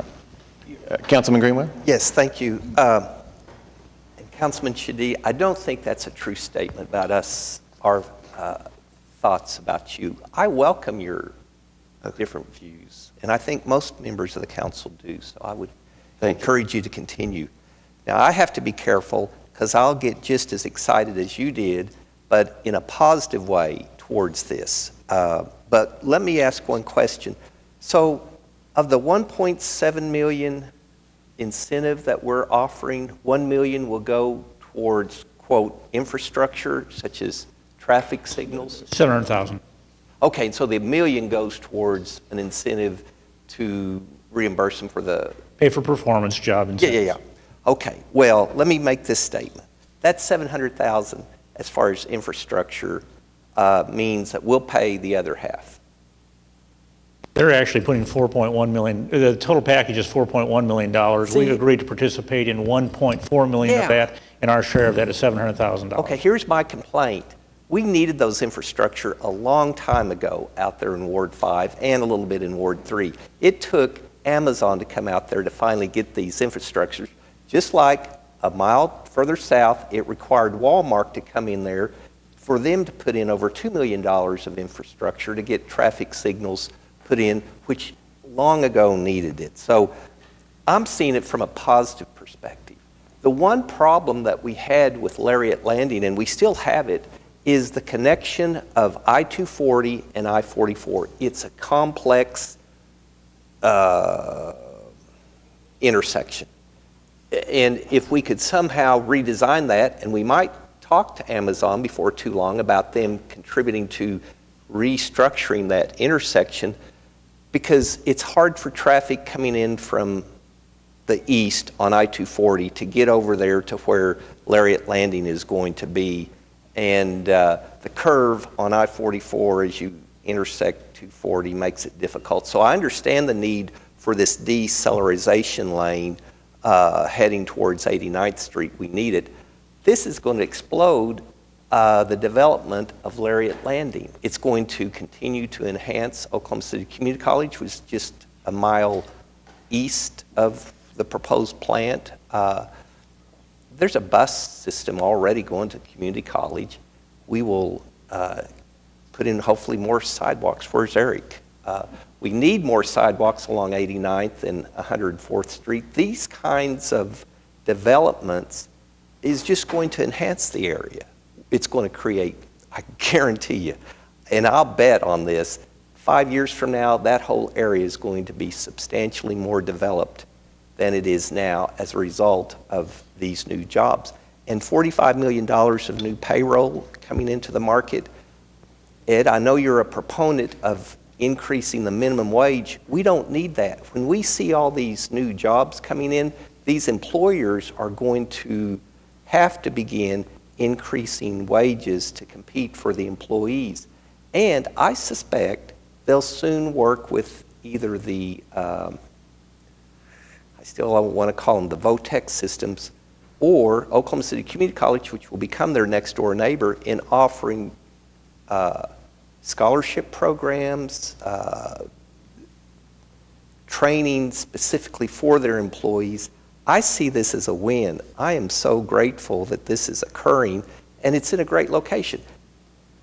When we can tell potential new companies looking at Oklahoma, well, sure, we've got Amazon right here, uh, doesn't everybody? It'll help sell the Oklahoma City market, and in particular, the airport, uh, and that's a critical area. The air, uh, the uh, aerospace industry is a high priority for the state.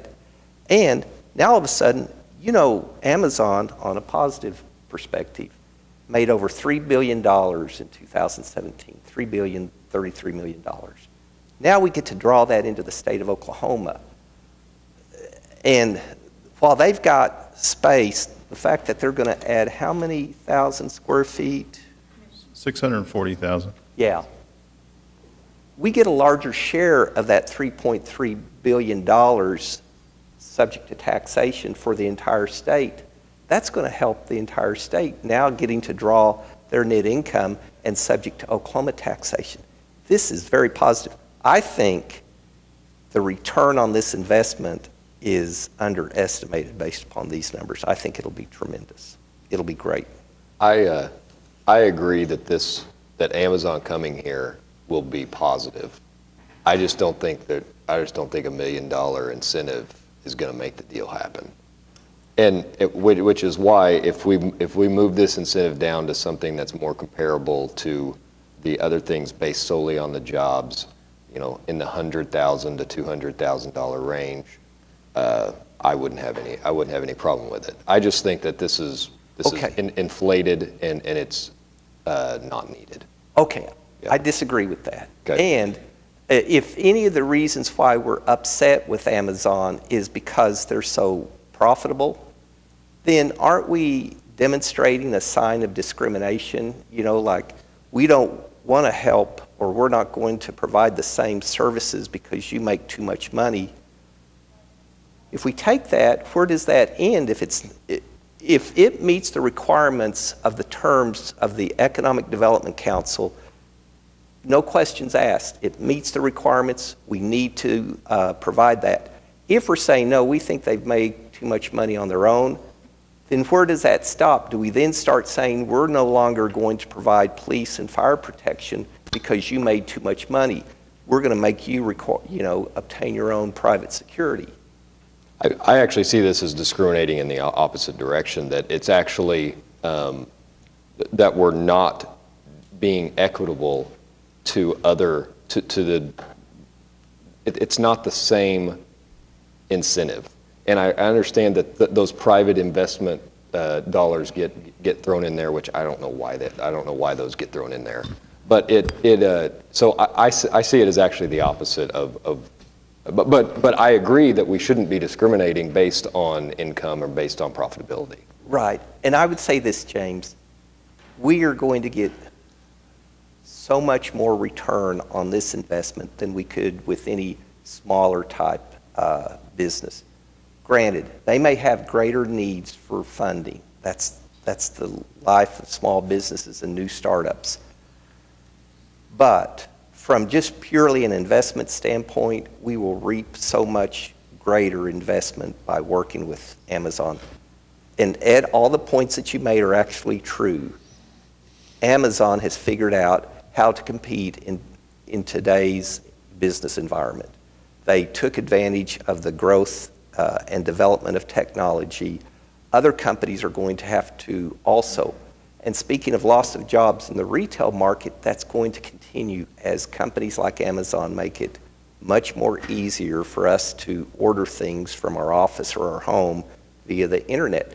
If we want to do away with the internet, that's a, a different discussion. I mean, there's good and bad points to that, but it's just the way things are now. It's impacting the oil and gas industry. There are so many losses of very gifted people who have been working in the oil and gas industry, but due to growth in technology, the development of technology, they don't need as many people identifying where the oil and natural gas is located, how to drill to it to make it uh, uh, produce it more economically and more efficiently, and then the process of drilling itself, and then the production. Technology is going to continue to reduce the number of people, but at the same time, new technology creates new opportunity, new jobs, and those who are willing to stay in school, get a good education, are going to benefit tremendously by this, is my point. Thank you. I just have a couple of comments, most of which have already been said. But Ed, I want to first of all say thank you for sending all those articles. I read them all. I appreciated getting the email. I think there were a lot of good facts in there, and it's helpful, you know, as we go through these discussions. So I was, I was glad to get those. Um, but just a couple of random thoughts. We're talking about the number of jobs that are being created, and the ones we're incenting are 50. But there are another 1,600 jobs, and I just want to tell you all a very quick story. I was at uh, Westminster School um, uh, last week working with their eighth grade class who spent a year studying poverty and all different aspects of it. And they worked, um, created a partnership recently with the Curbside Chronicle. I won't go through the whole details, but they actually created the program to sell Mother's Day flowers, and they took $12,000 that the students had earned in their seventh grade businesses and turned it into $35,000. Another part of this classes program was to look at um, livable wages and ask private businesses to uh, join a program called uh, Wage Up, where they would uh, guarantee that they would pay at least $12 an hour. These jobs are 12 to 14 dollar an hour jobs in addition to the higher wage jobs. So we're not looking at substandard or non-livable wage in the rest of these jobs, even though they're not being incentivized. So that's one thing. Um, you know, we talk about the services that they're going to be providing. These are what our citizens are demanding. Our, people want immediate delivery of things that they're ordering on Prime, and I think to be able to have that operation here in Oklahoma City speaks a lot following the kinds of things that David said. I, um, so uh, uh, just a comment about Lariat Landing. We made a huge investment in that facility through the Airport Trust, and this is exactly what it was designed to do. You know, we got an aircraft facility business coming over there, and to attract Amazon to that location, uh, again, following what David said, I think in five years we're not going to recognize what Lariat Landing looks like. And that was a policy goal that was set by this council through our support of the Airport Trust development. Um, and I think lastly, I just want to say that since we've been having this conversation, I'm sure all of us have been talking to citizens and asking how they feel about this idea. And every person I've spoken to, and they're not just my inner circle, people in public places where I've asked, the response back to me was jobs are number one. It's jobs that we're looking for, and they were supportive of this level of investment. So for that reason, I'm going to vote for it. Yeah, just a couple of comments. Uh, Ed, thank you for that material. Uh, Ed has some material that uh, Meg has already alluded to. Uh, that material is put together to prove a point and the point that they're trying to prove in there that incentives, especially to Amazon, are not the best way to go. Uh, there are two schools of thought. One says you should incentivize to move forward. Another school of thought says incentives are bad and should not be used. The marketplace uh, is moving towards incentives as an important part of being competitive, and therefore, that's why our GO bond program was put together to provide resources to incentivize those jobs which would bring greater value to Oklahoma City than the cost of the incentive itself. When you apply that logic to this particular job um, opportunity, it comes out that yes, this is a good deal. Uh, one of the things I think we have neglected to do, usually in the incentivization of a new company coming in, we focus on jobs created and we don't spend a whole lot of time looking at what happens from the investment in infrastructure that it, the company makes to move in here. When you apply that to the factors uh, of the number of jobs at 53 at, that do qualify, you see that this has a tremendous economic benefit to the area. And so it, uh, I think we've been a little short-sighted sometimes in not stressing the infrastructure, the equipment, and the things that the company invests in there. And The other thing we talked about Lariat Landing, if you want to see a beautiful wheat field that uh, lays dormant most of the time, look at the current site on the Airport Trust land that this facility is going to uh, take up. It's going to turn some uh, agricultural land on the airport into a dynamic generator of economic opportunity with uh, a lot of uh, opportunity to partner with uh, OCCC. Uh, You have bus service already going there. You have air, um, roadways already going in there. There's one thing you need to keep in mind. You may or may not know. Uh, the Turnpike Authority and ODOT is already looking at where their next expansion of the interstate system is going to be now that they've got that loop going from uh, out by Yukon to the airport that's in construction right now. There are already meetings going on about what to do with that stretch of land that you're talking about on I 44 that is so congested. And so this will fit right in with that, and uh, you'll, you'll see some new highways coming from the state because of this study that's going on right now. Thank you, Your Honor. Any further questions for Brent or discussion? You know, I think I'd just add that I, I, I yield, I do not yield to the councilman from uh, wards one or two in my hatred of incentives, but it is the game that cities are forced to play. And um, we want those jobs, and I, I have a really hard time walking away from them. Um, and the voters, I think, obviously have a similar view. They have twice approved this program by a vote of the people, you know, and uh, I think we have an obligation to carry out their wishes, um, hopefully as wisely and as thoughtfully as possible.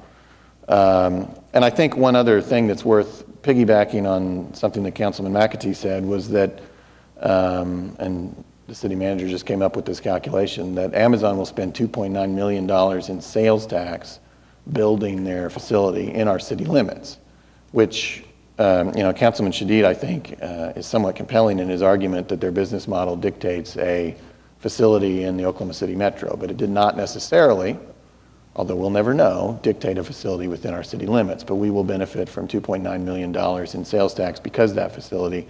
And I'm just talking about the construction costs of the, of the almost $200 million, is that correct? 140 $140 million facility. So that is worth noting as well. Um, but I do think, you know, I, I, have enough discomfort with some of the aspects of this particular process to take some things to heart that Councilman Shadid said, including, um, you know, giving careful consideration to the, to the appointment that I now have for the Economic Development Trust, um, as well as, you know, trying to get uh, involved in the process earlier. You know, I didn't know about this, uh, I knew vaguely of the project for some time, but I didn't know anything about the incentives until recent days, and that's just by nature of me just having taken office. But uh, you know, I think all of that is, is are things that I'll definitely pay attention to in the future and, and consider some of the things you said about non-disclosures and, and the other ways that we've we've run these things. Um, I understand that again, that's all part of the game as well with these with these companies, but that doesn't mean we can't um, try to assert um, our own terms in some regards. So those are just a few thoughts, and I thank everybody for a very healthy discussion. Um, I don't know that we have a motion or a second yet. No, we, have a motion. Uh, second? Second from Councilman Stone. Is there any further any further questions or discussion? Seeing none, we will. This is item 7AX, and uh, we obviously pulled it out of the consent docket earlier, and we will now cast our votes on it individually. Cast your votes passes five to two. Thank you. We will now return back near the end of the agenda. I believe we are on item 11, items from council. Councilman Greiner, how about we start with you? Councilman Shadid? Everybody's exhausted from the uh, Amazon. I didn't get to speak during the last debate, so I will. I'll take my time now. Thank you. And uh, Councilman Shadid, I too appreciate your objectiveness, but I'd rather be known as a little abrasive than non-abrasive. So I just wanted to give a shout out real quick to the Police Athletic League. We had our PAL Jam last Saturday. Um, I got to hear Chief Citty get up and uh, speak kind words to all of the volunteer coaches that showed up out there. Uh, it was hosted out at uh, Taft Stadium with the uh, Energy, and the Energy turned it into a great night with a 1 0 victory. So uh, it was just a, a great time had by all. Thanks. Councilman Greenwell? I just want to congratulate James Greiner on receiving his MBA. That's awesome, James, how you found the time to do that with all the little ones at home, and it's really wonderful. I'm Real proud of you. Congratulations indeed. Um, City, uh, so that concludes item 11. We now have item 12, city manager reports. Jim? And first up is Mike Carriers from CVB to give us an update. Mike, please reintroduce yourself and give your address if you wouldn't mind. Certainly. Mike Carrier, President of the Oklahoma City Convention and Visitors Bureau. Uh, My office is at 123 Park Avenue, and I live uh, out on northwest side of town on, at uh, 5409 Northwest 107th Terrace. So, uh, And, uh, Mr. Mayor, thank you. It's a pleasure to be here for your, the first time uh, addressing uh, the council with you in the, in the, the main seat. So uh, uh, you all have in front of you a copy of our third quarter report along with our uh, uh, marketing, marketing plan and budget for next year. Uh, And we're very pleased, pleased to give you an update on our progress uh, through three quarters. Um, You'll note uh, in our uh, program that our, our sales team's efforts continue to pay dividends as we move forward. Um, In our comparison of uh, fiscal 18 to fiscal 17, we are in fact a little bit ahead of where we were this time last year, uh, and at about 79% of the, uh, of the target that we have for the year in our convention and sports sales. So well on our way as we move forward. Um, we're, we're looking, uh, in addition, uh, our tourism sales, which is motor coaches uh, primarily and, and uh, tourism groups, uh, while we're only at 68%, the, he- the most uh, prominent quarter that we have every year is the fourth quarter of the year, spring, when we see a lot of folks beginning to travel over spring break and into April and May, and obviously some of the programs that are going on that do attract groups to come here. Uh, Plus, our equine business, we're at 76%, uh, overall 77% uh, of our target, so we are well on the way to having another very good year. Um, Hotel tax, and I know uh, there's a, a, a report later on the, uh, the agenda on this in perhaps a little more depth, but I wanted to particularly point out two things. First of all, through the three quarters, we're at seven, we have a 7.4% increase in our hotel tax over last year. That is a significantly high number and, and a great number that we're seeing.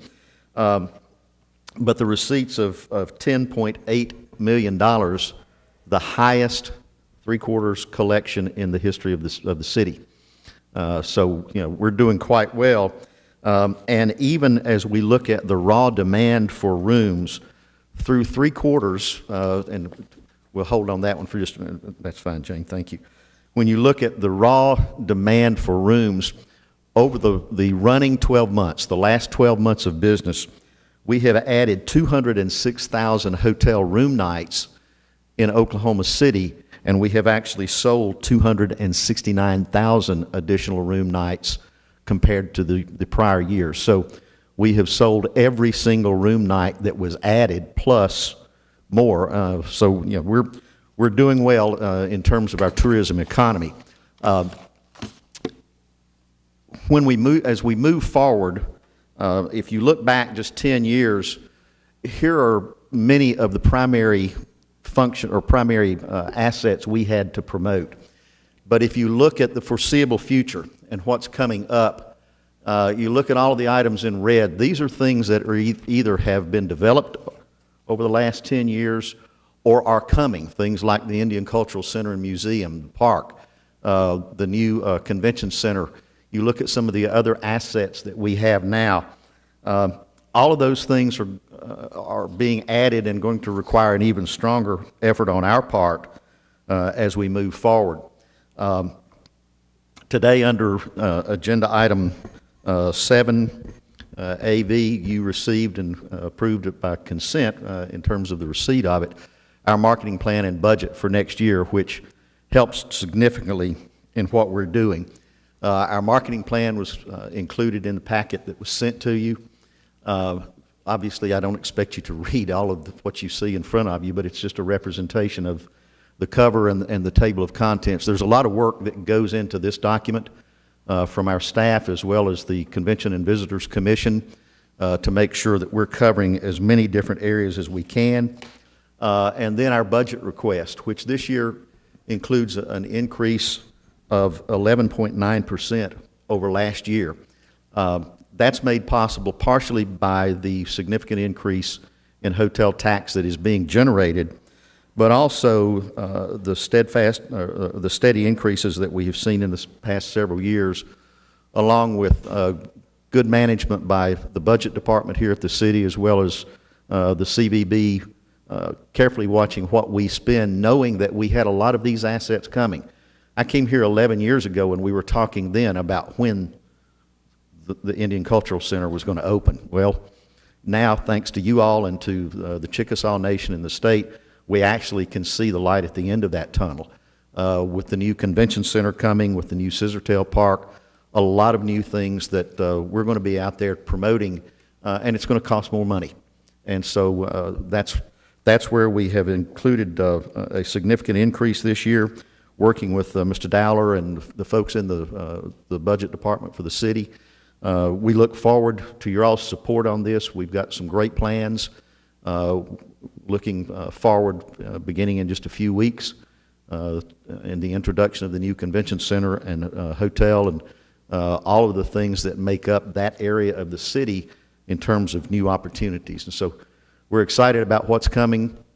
We look forward to continuing to get out and, and promote Oklahoma City and show people all of the different things that we have to to offer and continue to increase not just the hotel tax collections, but the city's sale tax, sales tax collections and the occupancy in our hotels and venues around the city. So I'll be happy to answer questions, but appreciate your all's continued support uh, as we move forward.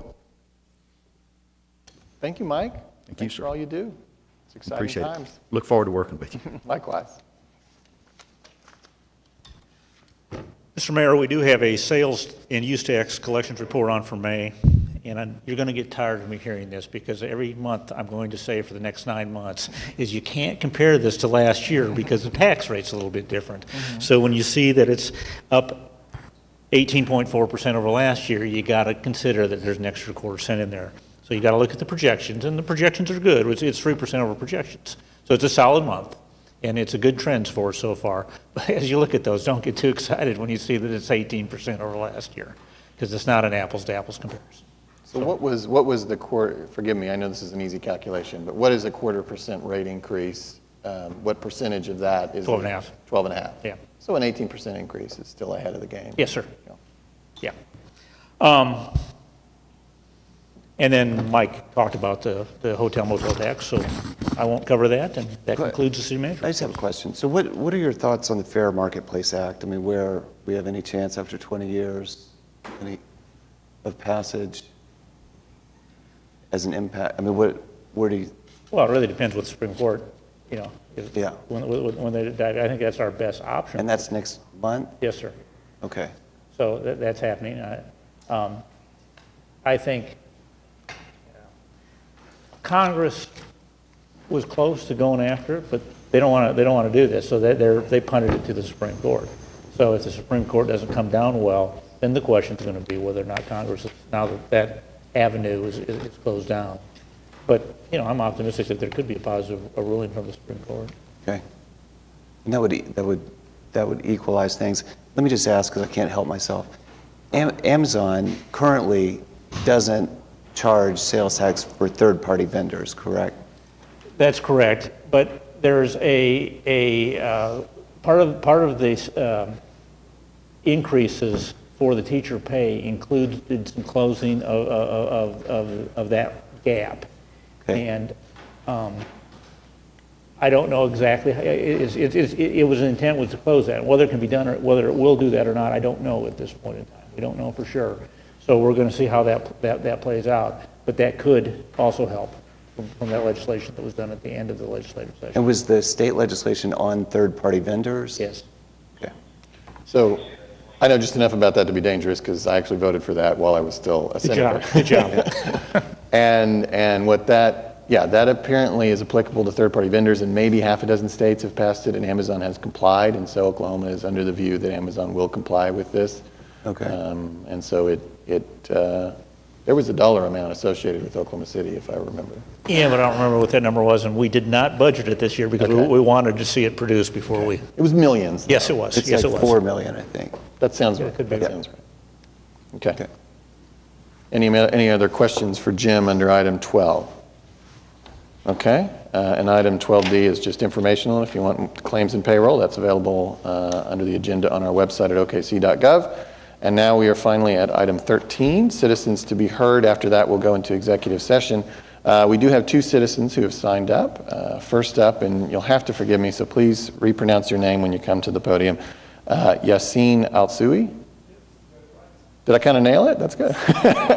well, please, please come to the podium, introduce yourself and your address, and, uh, and try to keep your remarks under three minutes, please. Uh, my name is Yassine Itawi, uh, address 320 North Villa, Oklahoma City, Oklahoma, 73107.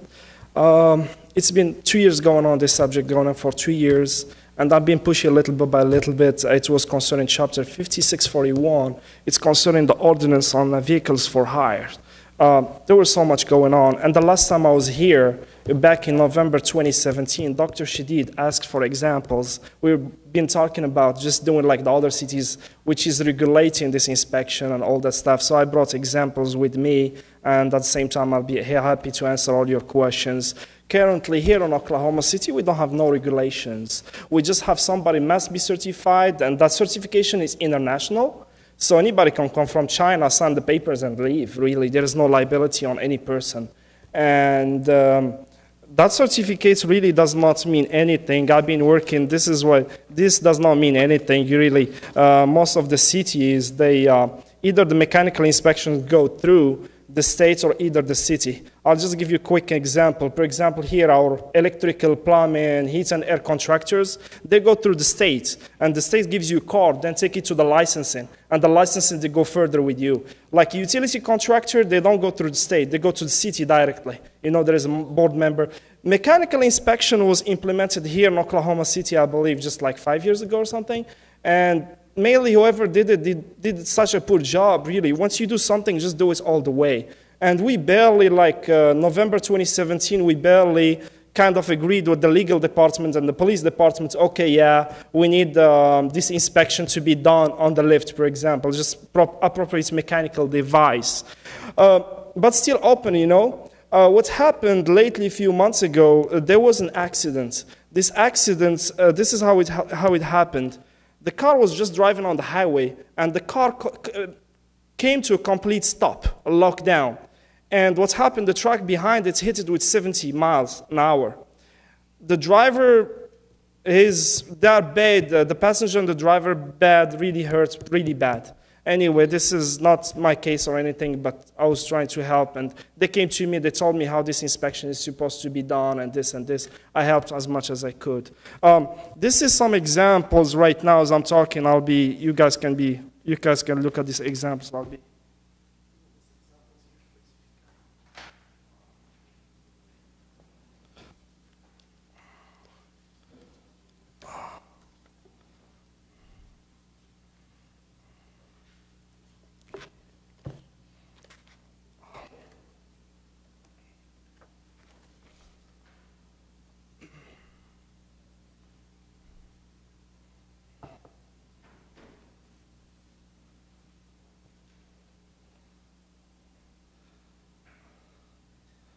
Um, the ordinance was changed a little bit uh, after a meeting with the chief, Bill Citty, and Patrick Stewart, and uh, and he went to sleep for a while. Then I contacted Mr. Balderrama. He's the one gets really upset about this and start talking with the legal department and going further, further. Finally, they they made little changes where needs to be done. What's happened before is the papers that these mechanical inspections they were sold on street, and solid proofs were provided to the police department and the legal departments, but no action was taken up till today. Uh, what I did, I just searched like the most of the states they have a state mechanical inspection, and some states they don't. So I called the uh, city of Seattle, just like us here, city of Minneapolis they don't have state inspection. So what I did, I told them, what does it take for me, guys, to be on your list to inspect your vehicle for hires? Uh, Seattle responded back on email, and Minneapolis, he was on the phone. Well, they need the, here's the email. What he said, Mr. Lee, uh, Austin, he said, I was notified that your business was interested in becoming a certified inspection mechanic for vehicle for hires. But he said, there are items that need to happen to certify your business as, as a, uh, as a qualific, uh, as a as an inspection station. First of all, he said that you gotta be certified, you gotta go through training sessions, we need to do shop inspection, and you gotta go through the director's rule, and the fourth, they ask for certificates of liability of insurance, which every garage here must have one. Either if you don't have it, you put the customer at risk and you put yourself at risk. So I don't see any reason. Well, this is what's going on. I'll go back to that accident. That accident was the car was taken. The highway patrol couldn't make any reports because he, he didn't know how come this car just came in the middle of the highway and stopped. The driver and the passenger didn't have time to run away from the car. By the time she was opening the door, she was really slammed from the back they took that car, they took it to third party to be investigated. What's, what's going on? How come this car stopped? They found it to be not even qualified, way, way below qualifications of what the city is asking for, for minimum safety standards.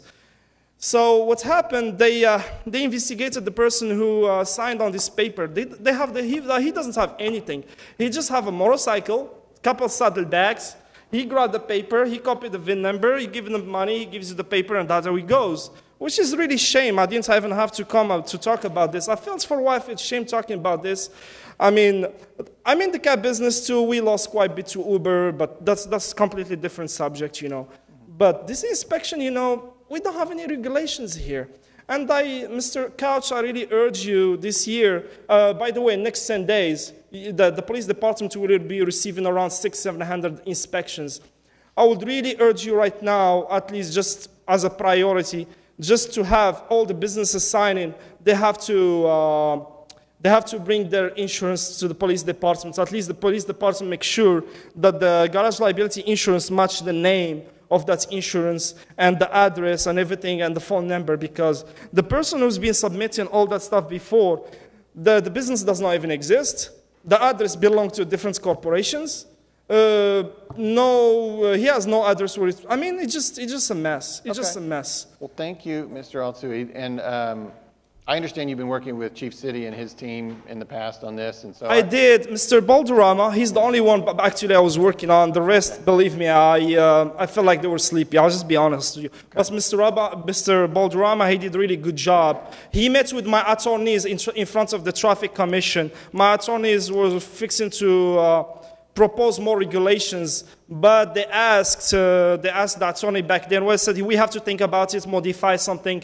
Mr. Balderrama, he was asked, do you guys need insurance? He said, yes, we need insurance, but we have no authority to ask for insurance. So I'm here, I mean, who does have the authority to ask if not the police department? Somebody has to ask for okay. it. All right. Well, I, this is all new to me, so I'm going to follow up with Chief Citty. I really appreciate it. Uh, I came here also, I forgot at the beginning, I wanted to congratulate, congratulate you on your position. Well, you buried the lead. And uh, we appreciate you for pushing for diversity too. Thank you very much. Thank much. you. Thank, you. Thank you. you. Thank you for Thank coming down. I'll, I'll follow up with Chief Citty and try to understand more about the background. Did you have something? I did have something. I wanted to recognize Honorable Vicki Miles LaGrange, who's here in the audience with us today. Thanks for being here, Vicki. Um, very good. Yes. Welcome. Oklahoma legend, Vicki Miles LaGrange. Um, we also have Ronnie uh, Kirk has signed up. Ronnie, if you wouldn't mind introducing yourself and stating your address and keeping it uh, to three minutes or less, please. My name is Ronnie Kirk from 2328 North Missouri, here in Oklahoma City.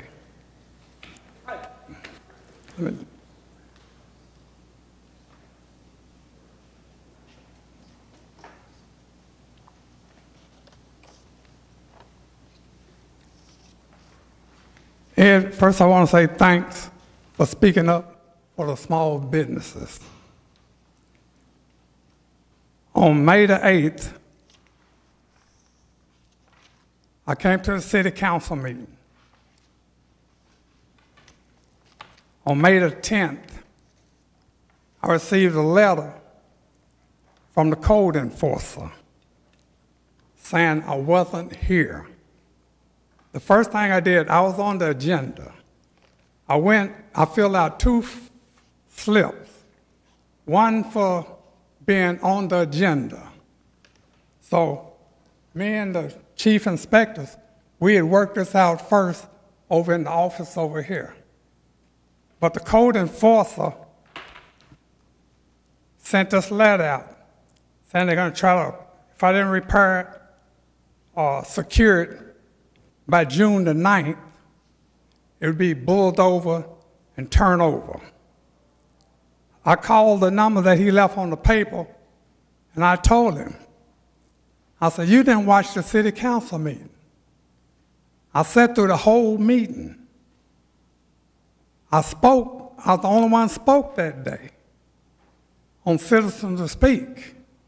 I called him twice to make sure he got the message. I said, don't just, I say, like you sent me this letter in two days saying I was not here on May the 8th. I said, send me a letter so I can show that I was there. I said, I'm on YouTube.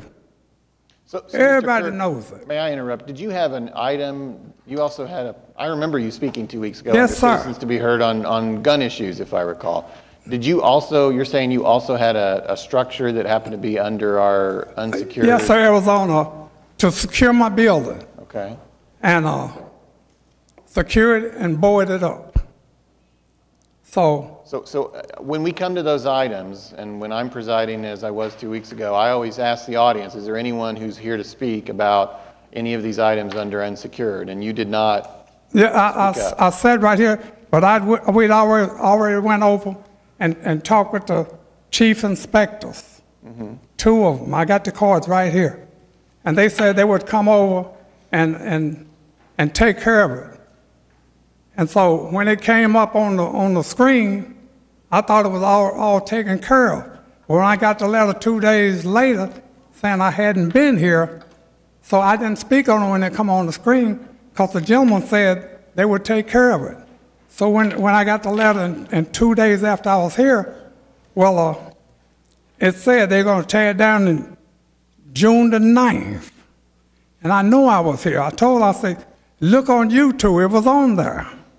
And so I was also saying, uh, I, the main reason I got here on May the 8th was to talk about securing my building, showing that I had done the work to secure my building, the hole sealed up, and, and making sure it was secured. And the second reason I wanted to come, so I could get in and speak before the mayor had signed the, the governor had signed those papers. And, but I mainly came to speak on this today, where the, letting the code, the code enforcer know that I'd been here.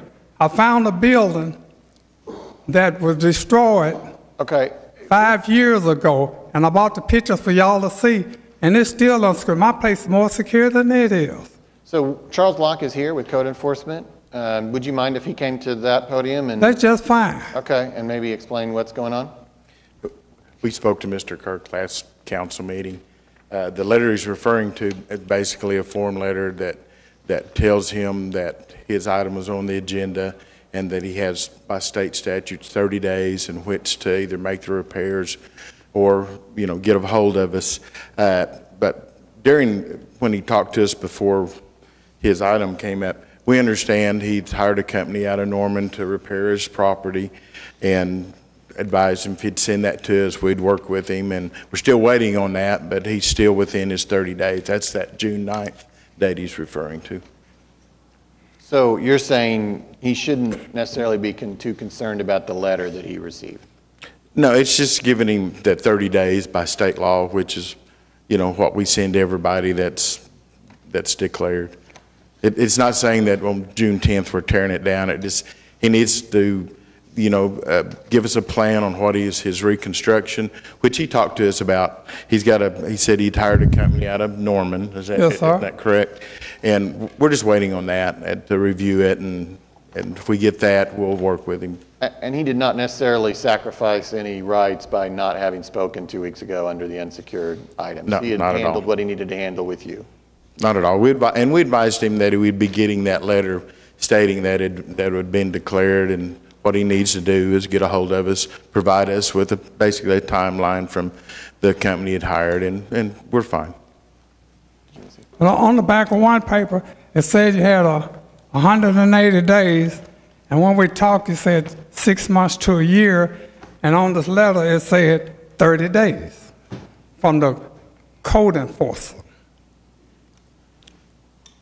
Mr. Kirk, you, you really need to make, make sure that you get the information into Charles that says that you got the contractor from Norman and that you're making Yes, progress on it. That's, that's, if you continue to, if you, if you do that and work with Charles, you're going to be fine. We're gonna, we, I, I, my plans is to work with him Great. and to get these things done. But 30 days is not enough time for me to get everything done. The place is secured. It's all, all been boarded up, and we're, they've been working on it now. If you to make sure we follow If you get a time frame to him and let, and, and and a contract with your contractor, whatever you're going to do, and get a time frame to him, he's, he has the authority to work with you to to make that That'd be happen. fine. We'll be happy to talk with him after council, too. All right. Okay. Thank you, Mr. Kirk. Thanks. Thank you, Charles. Is there anyone else under citizens to be heard? Seeing none, we will now go into executive session as per our earlier vote on item 9R, and we will return.